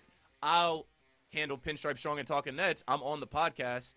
Like you're not a Nets fan. I know you're a Yankee fan. Whatever. Um, so like the pandemic hits, it's weird times, right? Like it's strange times. And, and looking back, you know, we made a lot of decisions and did a lot of things that are that are just like weird or awkward now. And then when we came out of the pandemic, I remember the start of 2021, telling Jomboy and Jake, "Hey, listen, guys. Like I, I'll always remember telling them straight up. I'm like." I don't know when I'm gonna debut in the Jomboy Media universe. Like I felt like I was a fringe bench guy. They wanted me to be more behind the scenes helping, which I, I certainly did. But I Right. felt my own brand rising. I felt my own name Right. rising. Yes Network comes in and they want to do a special on Talking Nets. Yeah. We did a special on Talking Nets in the Jomboy Media office. You know, they, you know, they, people outside people started to build me up, and I don't think the Right. company looked at me as a star or face of the company, which is fine. Uh, I was being paid to do social media behind the scenes, but Right. other things started to evolve with me being myself, making Right. my Nets podcast. Kevin Durant follows Talking Nets. Now Talking Nets is rising. Like Correct. the followers are going up, the downloads are going up. I'm like, what did like I if you didn't see this coming, that's not my fault. Um, Right. But you know, things started to go a certain way where I told Jomboy and Jake like I might not debut in your universe on your YouTube your YouTube channel or your shows, but Right. like I'm already this. Like I've already been in Yes Network commercials. I've already got connections. I've already got people checking me or checking for me. Where like I know I'm I'm paid to do this, but you got other people doing it, and you don't want me focusing on Pinstripe Strong and Talking Nets because they're not making money, but they will. Like they're getting Right. there. Right. So we had a little bit of a falling out internally that people never really knew about externally. But I knew I'm like I I'm headed somewhere out outside of here. Like I remember Right. saying like you know I'm like my worth right. I'd already made more than sixty thousand a year. So the sixty thousand a year they were paying me, I'm like I'm worth more than this right now Right. and this is 2021, my second year with the company. Um, I, I kind of knew that like the media market in New York, someone was going to recognize me combing through the Jomboy Media umbrella, uh, being Right. on the Yes Network, doing things with the Yes Network still, being in two sports, two leagues, right? Jomboy Media is really baseball. But I was one person at Jomboy Media, like, this guy knows this shit in baseball and basketball. He covers the Nets, he covers the Yankees, and I'm rising. And at the end of 2021, Jomboy and Jake were doing some small hits on WFAN with like Moose and Maggie. And like August 6th, I think it was, they took over Moose and Maggie's 10 to 2 show. And it Right. basically sounded like talking Yanks. It was Yeah. great. They talked mostly Yankees. It was during the Yankee season. And then Spike Eskin, who was the program manager, started trying to get Jomboy and Jake and Jomboy Media involved with WFAN more. Right. That never materialized, but I was offered to try out on August 25th. I went in on that Wednesday night, had no idea what to expect or what to do, had listened to WFAN. I go in and I crush it 11 to 2. From what I understand, the social media interaction from Yankees Twitter that I already had, that started to hit WFAN. Their social team wakes up the next morning and they're like, we got a ton of interaction off this guy. Right. We got a ton of people tweeting and talking about this, people calling in. The Yankees were off that night. The Mets had played. They lost to the Dodgers. I come in with this whole agenda to talk about the Yankees winning streak. Ooh. They want to talk about why they pulled Taijuan Walker. And Yeah. I don't know, it created a little bit of a stir because I'm a Yankees fan, and at the time I didn't care to talk about the Mets. But whatever. Right. I do a good job, and I don't know what to expect from it. But uh, time goes on, and I'm checking in with Spike Eskin, like, "Hey, man, uh, let me get another, let me get another tryout. Like, let me fill Right. in on a night. Like, I just want to, you know, I, I I don't know if I was good enough. I want to try again." And he's telling me, "No, Right. you you did well, and we're working on some things. I'll I'll get back to you." Little did I know, August, September, October comes around. We're getting to the end of the baseball season. I'm a little bit frustrated with, you know, feeling like I'm second class citizen at Jomboy Media, feeling like I'm not getting the respect that I deserve for who I literally am outside of the company, inside of the company. I didn't get a raise. Like things are happening at the company and I don't have a seat at the table. And I'm like, I'm I one of the it. most experienced, most qualified guys. Here comes WFAN and they proposition me with the opportunity to take over nights and replace Steve Somers. Whoa. Yeah. I thought I was going to be a weekend guy, a late night fill in, still work at Jomboy Media, but maybe do some hits Right. here and there. No, they have bigger plans for me. God's plan is always greater than our own. God had a greater plan than I was even ready for. Uh, so I accepted. And then November Yeah. 1st, I hit up Jomboy and I gave my two weeks' notice. And then November 15th, I started at WFAN. My first show was November 23rd. The rest is history, but it's our current. now we're current. Now we're Right. We're back to where we are. Like how did how did that all happen? And uh, I'm blessed to say, you know, from being on WFAN just for a couple months, everybody listens to the fan in New York. MLB Network folks were listening to WFAN. And I'm so passionate about the Yankees and baseball and talking about the fan Right. cave and all of this stuff. They reach out. I go down to spring training. I rock with John and Suzyn. I'll never forget Yep. sitting in between John and Suzyn on the broadcast from spring training. MLB Network reaches out saying that they have a show with three people and they're looking for a fourth. They like my Yeah. vibe, they like my energy, and they want me to come in for rehearsals to read with the cast. Sure. I do two rehearsal shows, and I think I steal the show. I think I had some of the best lines, some of the best one-liners and responses. Right. And they hit me up and they're like, "What do we got to do to bring you on board to sign you to get this going?" And this is like opening day is next week, so I had Yeah. to sign and go. And here Right. we are now from starting in November, being on December, January, February, March, four months. MLB Network comes in. Now April starts. I have a nationally televised MLB Network show called Off Base, the first of its kind. Right. That's Love it. bringing in social media and and fashion and music and trying to attract younger people to the game. And then I'm Yes. on at night and I have younger people calling my show. They never heard this many young kids call WFAN Of course. and I'm bringing my style my energy, which is different than they've ever heard on WFAN. A young black Right. guy that's rapping on the fan. A young a young black guy that's bringing in you know different people than they've ever heard Right, with a different style and cadence, and things start to shift. And I'm blessed. Exactly. I get verified on Twitter, Instagram. Like this year, 2022 is the best year of my life. So, Keith, great year. But I imagine even from when you had sports and when you were um, throwing the pigskin till now, you, you've had your detractors. Like, w- what do you do when someone says, "Oh, well, you know, he, he's a monotone voice," or "Oh, I, you know, I don't like the it. way I'm that his." I've been Yeah. I've been counted out. I've been wrongfully diagnosed. I've been treated lesser and looked Right. at as you know. I, I'm used to it. I don't look at myself that way. I don't view myself Right. that way. So it doesn't matter. What what you think of me is really not any of my business. I know what I think I am. I and I and I love that. Like this year, it came full circle. I I, I, Right. I literally have a sign for 2023 that says "Leave no doubt" for Yeah. this year. Can you do it again? Good 2022, but leave no doubt this year that you are who you think you are Right. and that you are where you are for a reason, do it again. Leave no doubt. Yep. So I'm my entire life I've had people, you know, go back to football. I I can't tell you all the details, but I wasn't supposed to start varsity as a sophomore. There was another guy in front of me whose brother played, whose dad played, who the whole town Ah. looked at as he's the quarterback. Right. I beat him out in camp.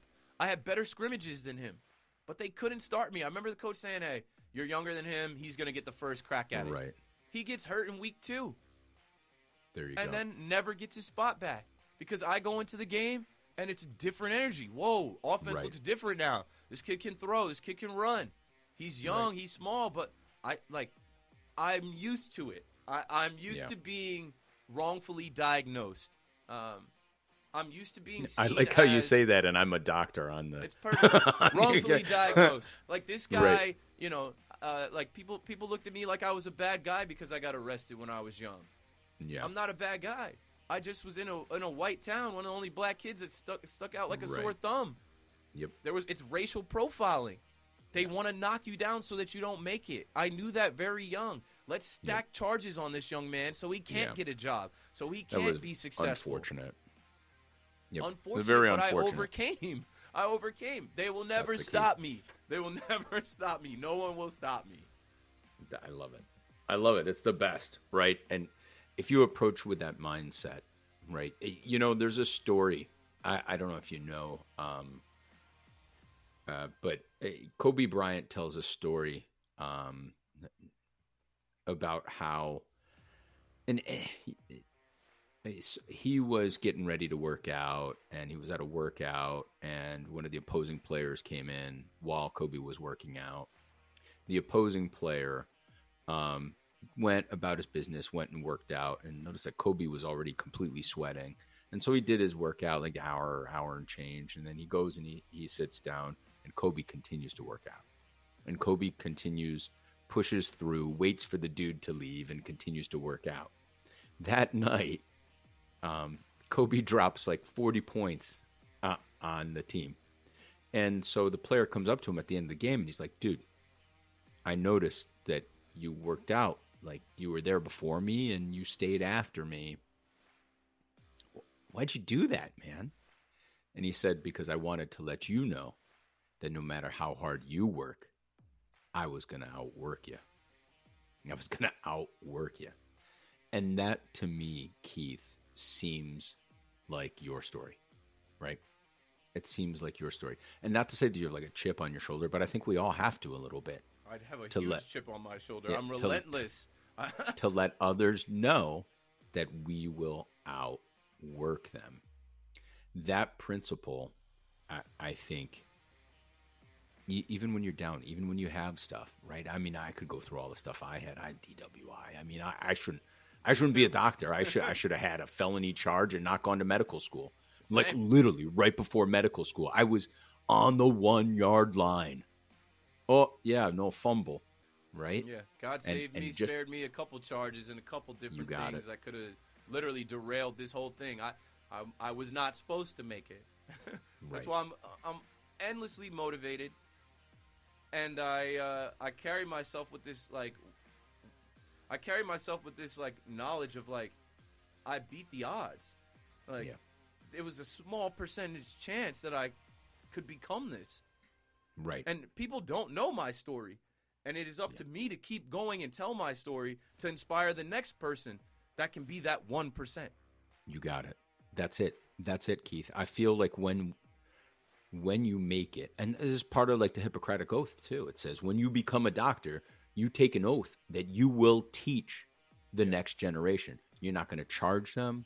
It's going to be free, and you'll gladly do it for those who want to learn and know. And so I, I listen.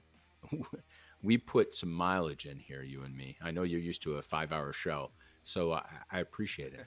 we, we have got yeah, some no, good stuff. I, I I appreciate you, Doc. I respect Yeah. you. Uh, you know, when you and I connected online, it was just Yankees fans, Yankees Twitter. I love seeing you at the stadium. it. You've hooked me up with tickets at times, Yeah, times yeah. where you probably It's didn't good. know. I didn't have two nickels to scratch together. Well, I was gonna buy the cheapest ticket in the place. I'm gonna tell you a story. Do you know how glad I feel over the years, like uh, making sure I reach out to you for a ticket and be like, "Hey, you man, I'm not going." in legends and, and uh, a couple times when I would have been, you know, probably just chilling in the bleachers. So, Man. uh, you know, I knew that I'm was happy just to a that. genuine fan. Like, hey, I can't make it to the game, Keith. you got it. Sure, you like upgraded me, and uh, you know, the times we've got to meet in person are always Yeah. great. And uh, I watch your content. I remember when you did start the YouTube channel and you had some of the COVID stuff.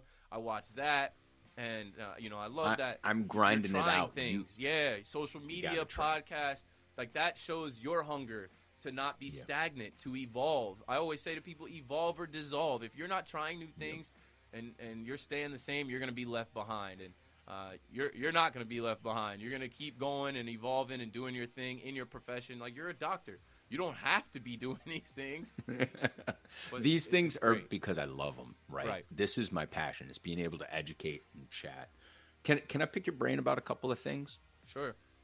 All right. So, you know, we get on social media, we get on Twitter, and Twitter is one of these interesting places. Now, you're in you're in a field of Twitter that is controversial, no doubt, but it's not like you say the wrong thing and you're going to get arrested or lose your medical license, right? And so, with me, we have to be a little bit more guarded when we say stuff because people say, "Oh, you gave me medical advice. Now I'm going to sue you," and all, Yeah. all these sorts of things, right? I mean, uh, occasionally I'm sure you'll get a degenerate caller on FAN. It's like, dude, you said to go with the points, right? Yeah, I've, I've had some people try to call me out on some things. whatever. it happens. But there are some times where our fields intersect, right? And um and a lot of doctors um tried to conjecture on uh Damar Hamlin's uh, un, unfortunate event that happened in the NFL in the field. And I I just want to get I want to get your take right in terms of how that was handled on social media what what what what could have been done better made me hate Twitter that night. And even with some Yeah. things that I said, it's what I hated was the police, the Twitter police, that like this is something that nobody expected. No one knows what's going on. No one knows exactly how to react to it. right Some people said some things that they regretted, but some people were just you know speaking freely. Even me, I, you know, and I didn't say anything wrong. Um, there was only well what do you mean by wrong like i mean that's and another it really isn't wrong, right? But it's like Right. you know, I think what it was was that in the moment, people felt like you shouldn't be detracting from the story and the young man and and his condition with anything else, right? Donovan Mitchell Right. scores 71 points for the Cleveland Cavaliers. He gets back to Right. the locker room, he's celebrating it, and people are like, "How dare you? Do you Right. not know what's going on?" No, I don't know what was going on. I I'm just played a four quarters of an NBA game. Yeah.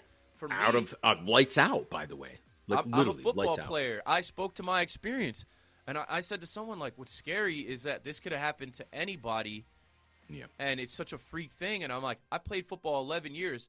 I'm shook now." And somebody replied to that tweet, and they were like, "Way to make it about yourself." And I'm like, I deleted the tweet because I'm like, I don't even want that kind of Right, energy. don't need to I- fight I was in my fantasy football championship.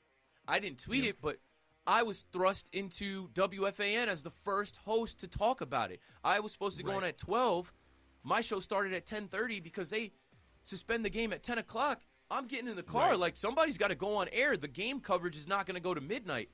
No one, there's no one there to prep me on how to handle this. I, did- I come in, I'm like, you know, people were people bet on this game. I won 100 bucks on Tyler Boyd first touchdown. I also am in the running to win $800 in my fantasy football championship, and now that's on hold. And some people Right. tweeted me, they were like, what an idiot. This guy's talking about fantasy football. Nobody cares about your fantasy football team. And I go on air and I'm like, you're an idiot. If you don't understand that I played college football, that I have compassion, and that I am hurt right now seeing that, but I'm also speaking to fandom that all of us going into that game were thinking about our bets and our fantasy team or whatever our rooting interest was You got it. it's unfortunate that the game got zapped because we had someone literally go into cardiac arrest. But does that mean that like we can't speak about the fandom and other things around it or just in the moment speak freely on how we feel or what we thought? Twitter sucked that night because it was like everyone like even with the NFL, right? The NFL took an hour and I don't care that it took an hour to postpone the game. I think there were Right. other things that they were trying to figure out and decipher. I think they were trying to figure out, "Hey, what is what is wrong? Like is he okay? Oh, is he Right. coming back Yeah, to life? well, like holy shit! Do we? I'm sorry, I swear I'm gonna have to Yeah. bleep that out. But now, do we have to worry about all of our players? Right? Exactly. And that that's a very real question. That 53 I can guys on you- each side. They're sh- they're shooken up. They Yeah. can't play that game. But I think the number one thing was like, wait, the the whole country just saw this kid's body go limp, and like. Yep.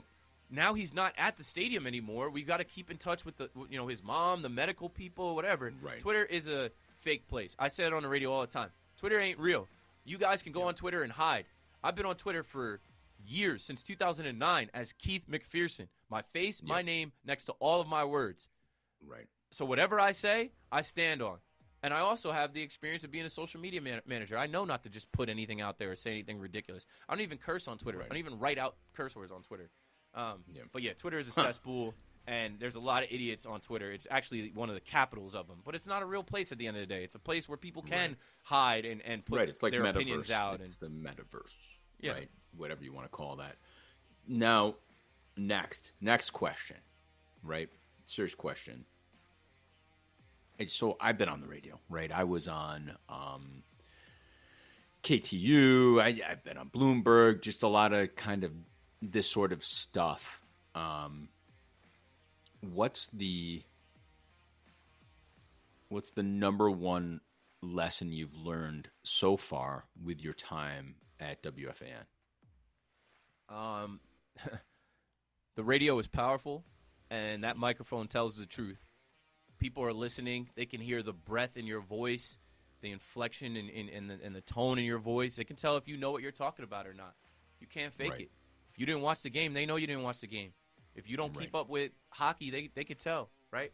And so what I did, I don't keep up with hockey. I came in and I, I was honest, and I think that's Right. something that has really uh, broken through. I don't come on like I'm a know-it-all. I'm not old enough Yep. to know it all. I'm not Mike Francesa. Like I can't Right. sit up there and, and act like I'm something I'm not.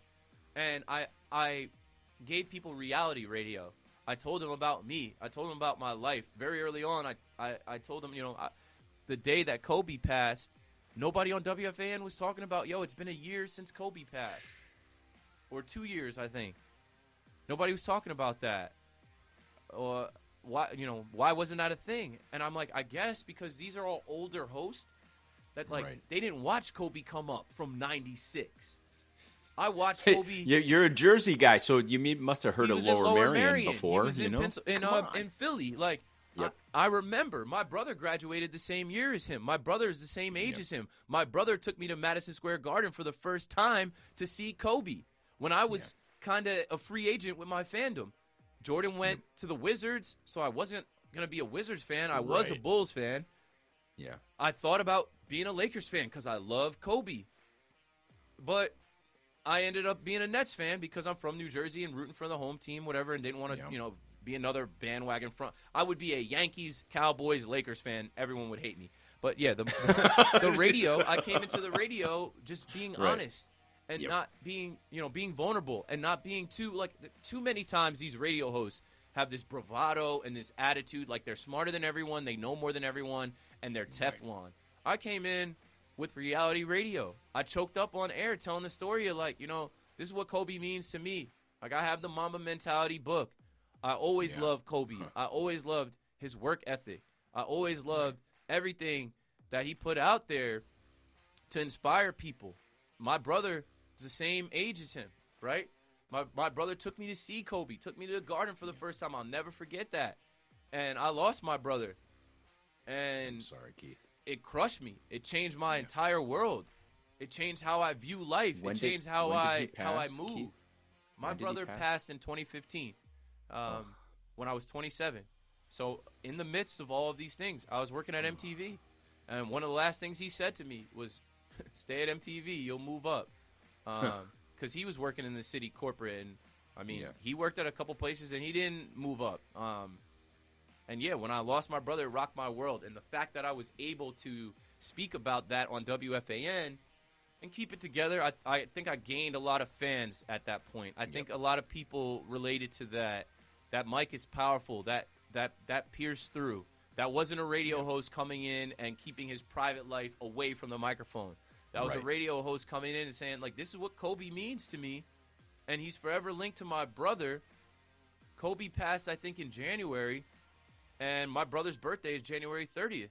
So around that time that Kobe passed, Yep. and I was thinking about my brother. It was heavy. It was hard for me to deal with, and uh, I shared that on air. That mic is powerful. Uh, a lot of people now know of me outside of the internet, and and I, that's that's the next thing, right? Right. I've graduated out of the internet. I'm not bringing the internet so much Right. to the radio. There are Yeah. 60, 70, 80 year old people that are Keith McPherson fans from WFAN. They don't Right. go on Instagram, they don't go on Twitter. So Correct. I can't bring you nerds from Twitter that are trolling me into the radio. I'm done. Right. I, stopped doing that. I had to learn this year. Good. People would say Good. stupid stupid things in, on Twitter like, "Oh, Keith McPherson only got this job because he's black." That's the dumbest possible way That's to look at this because there's been plenty of talented black people in the industry that didn't get opportunities. Correct. Maybe I would have Right. got the opportunity sooner if I wasn't a young black man. Yeah. So like I remember I brought that to the radio one night and my boss spoke on it. He's like, "Man, you're great." He's like, "Don't bring that Right. negativity Exactly. from Twitter into the radio. People want to hear you. They want to hear you talk about the game and the sports. They don't want to hear about these trolls trolling you. And I'm like, you're right.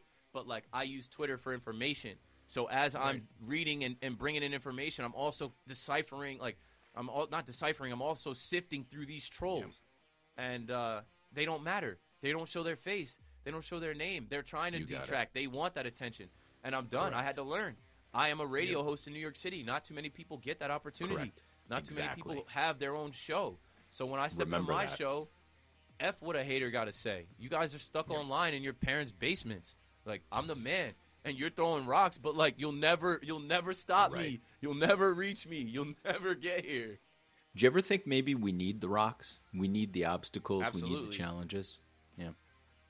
Yeah. It's- I think so. If it's too easy, if it's handed to you, if you don't struggle, you don't appreciate things. Uh, if if you don't go through something like it, it, it, it means something to me. Every time I get on that mic, it means something to me. Every time I get on that mic, I'm prepared, and I know the fraternity and people that came before me at WFAN, and I'm trying to carry us into the future. Um, I, I I'm grateful for it. I'm a man of God. I pray.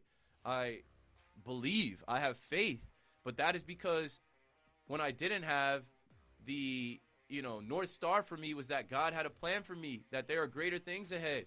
God is not putting Right. me through all of this for nothing. Keep going. Keith, this has been awesome. I, it's been all. Maybe I'll give you more tickets. No, I'm kidding. Um, you can give me tickets now. now, I'm, now I'm credential media. I go wherever I want to go. That's what I'm saying. You go wherever you want. You Now bring all the me. people that work at the stadium. What's up, Keith? Yo, what's up? yeah, right. Exactly, dude. I'm I'm just saying, right? I a lot of my good friends work there. None of them have brought me into their booth. Just gonna throw that out there if they're listening today. I will Just say throw it this. out I would I would love to bring you up there, but they're hard on me. They have a dress code on me. there you go. I can, I'm barely Ah. allowed up there. They see me Oh, up there. They're like, "Who are you?" I'm like, "I'm Keith McPherson, WFAN, MLB Network." They're like, "Hold on, let me see your credential." Like, Yeah, right. Yankee Stadium is Fort Knox. The Yeah, security that and the place is. rules that the Yankees have, they literally have their own world in there. They get mad at me. I can't wear this in the booth. I can't wear this in the media area. You Remarkable, cannot wear any logos of any team, including the Yankees. Um, I, I had to conform. I go to the Wow, stadium. yeah. I've got a hundred Yankees outfits I could wear. I know. they don't. They at didn't want me doing that. Yeah, At you least. go. Uh, At- at they don't least, want you dude. doing that. I've they want it. you to be a neutral media member. And I, I remember telling them, do, Right. do I come off as neutral? I'm completely biased. I'm here to see the Yankees win. But it's the visual, right, Keith? It's a visual, man. right. It's There's, visual. They know, throw there a are people from Cleveland here to cover the Guardians. Right. That they can't come in here with Chief Wahoo on their hats. shouldn't You're getting do in that trouble anyway. talking about Chief Wahoo, man. Come on. oh, dude, listen. So, um, so you you gotta you gotta get ready for your show tonight. Yeah, so uh, I- I have a few things I have to do now. It's funny because I just was glancing at my phone. Like I'm Yeah. the type of person like I wanted to give you a good show, a good, you know, amount of Oh, time man, to get this the is- full We're conversation. gonna split out these up into a couple. Yeah, because this yeah, was so I, I just did a podcast that's coming out this week, and I'm like, you know, there's some things that we missed. Uh, it's a long story to tell, and I don't even Yeah. realize at 34, you know, just the 10 years from 24, like being Yeah. out of college. If I go back further, like we did to high school, there's even That's more. huge. You, we started from five. We started from fandom, Yeah, so you I had it. to give you the proper time. I do have a show tonight, but it's not on till late. But uh, I have a show with Sweeney Murti tomorrow, BXB Nice. Bronx Baseball podcast that I Sweeney's love that. texting I, you and Sweeney, I I love Sweeney. it's a right? good I- dynamic, right? We it took Yeah, a while to start because they didn't know who to pair me with, and I didn't know who to pair me with. And Yeah. I've always respected Sweeney and what he does, and I think we come off great together because I'm such a fan and I'm new in the media, and Sweeney is so like like reporter, been in, Right. been doing this for decades. dude. He's is- measured. I'm not measured at he all. He is measured. I'm not measured at all. Sweeney will say something and he'll be like, "Well, you can't do it." I'm like, "I can. I'm a I'm- fan. I can. I'm think allowed like to, I can say this." I'm like, "You can." Yeah, right, exactly. Oh my god, it's the best. Oh, you you've brought um you brought joy into um thousands if not millions of fans' lives and bringing emotion, bringing a commonality, bringing um a spirit of tribe together and uniting a lot of people. It, it's a very powerful thing. So I want to thank you for bringing a little bit of yourself into our um, into our podcast here at Murphy's Medicine. One last thing, I guess, one last question I have for you is: when it goes wrong, as it often does, we call that Murphy's Law, right? And so we have a a medicine, right? It's called Murphy's Medicine. That's the treatment for Murphy's Law. So if you, Keith McPherson, have something that goes wrong, what is your number one anchoring principle for the treatment of when that goes wrong? my my faith, it's it's gone wrong every year. something has happened that wasn't on the schedule, wasn't anticipated, threw something off, changed my course. My faith, I, I just Your faith. believe. I was I was baptized in Jacksonville, Florida, with my grandmother. My grandmother bought me my first Bible. Uh, I wear a chain around my neck. I don't have it on me now that I bought in Jacksonville. I'm a Christian man. I believe in God. I used to know the Bible better. Um, my faith. That's what I go back to. I have an absolute belief in God's plan for me and my life that it's greater than me, right? You just Yep. said I've reached a lot of fans and people. There are a lot of people that have reached out to give me that back to say, Keith, I love your show. I love your story. I, I listen. I follow you. You know, you inspire me. You're my favorite. I didn't know that was going to happen when I was driving Lyft Uber. I didn't know that was going to happen when my brother passed. I didn't know that was going to happen when I was getting arrested all those times and going mm-hmm. through court and paying fines and, you know, being in the back of cop cars. Like, why am I being mistreated like this? I didn't know. But I kept going because my faith told me I, I walk through the valley of the shadow of death.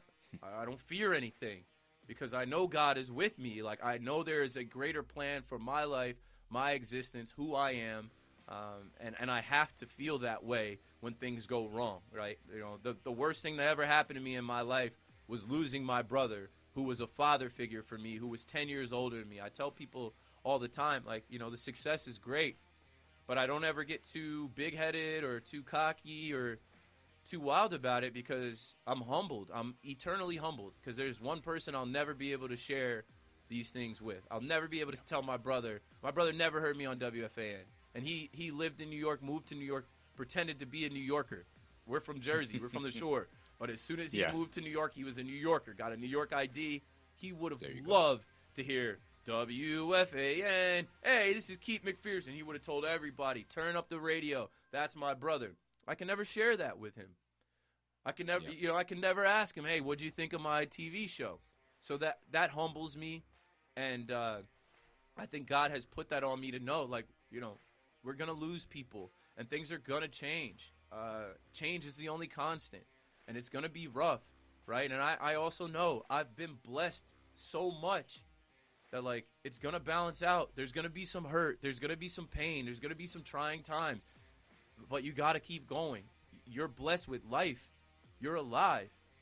You're living, right? I speak about my brother. My my brother is in a better place, but like his life ended in 2015. He lives vicariously through me. I have to keep going, and I have to keep praying, and I have to keep producing, and I got to keep going for people that believe in me, um, and people that don't believe in me too. I, I got more for haters to be mad at this year. I put that out there last night because I, I, I had to mute some people. you know, people people want to pick people want to pick through how someone speaks about Damar Hamlin. Nobody is prepared to speak about something like that, but people want to nitpick the fact Yep. that I, I did the show 10:30 to 2 and all we did was Correct. speak on Damar Hamlin the night that it happened. So then I Yep. went on for 5 hours last night and I said, "Let me lift your spirits. Please indulge me in other topics. We're going to keep Damar Hamlin in our prayers and our thoughts and we're going to speak his name through this program. But we can talk about other things. This is sports is supposed to be an Right. escape. This is supposed to be a distraction. I felt terrible last night into today, and I don't want to feel terrible another night about this. The young man is in the hospital. It's out of our hands. We can speak about other things, and people, oh, you're terrible, blah, blah, blah, blah. I'm like, no, you just missed my show last night, and that's on you. I don't have time to think about what you think. My boss isn't saying anything to me about it. People are commending me for how I handled the situation both You nights. I have to keep moving forward. That's the only thing you can do. So I want to thank you again, Keith McPherson.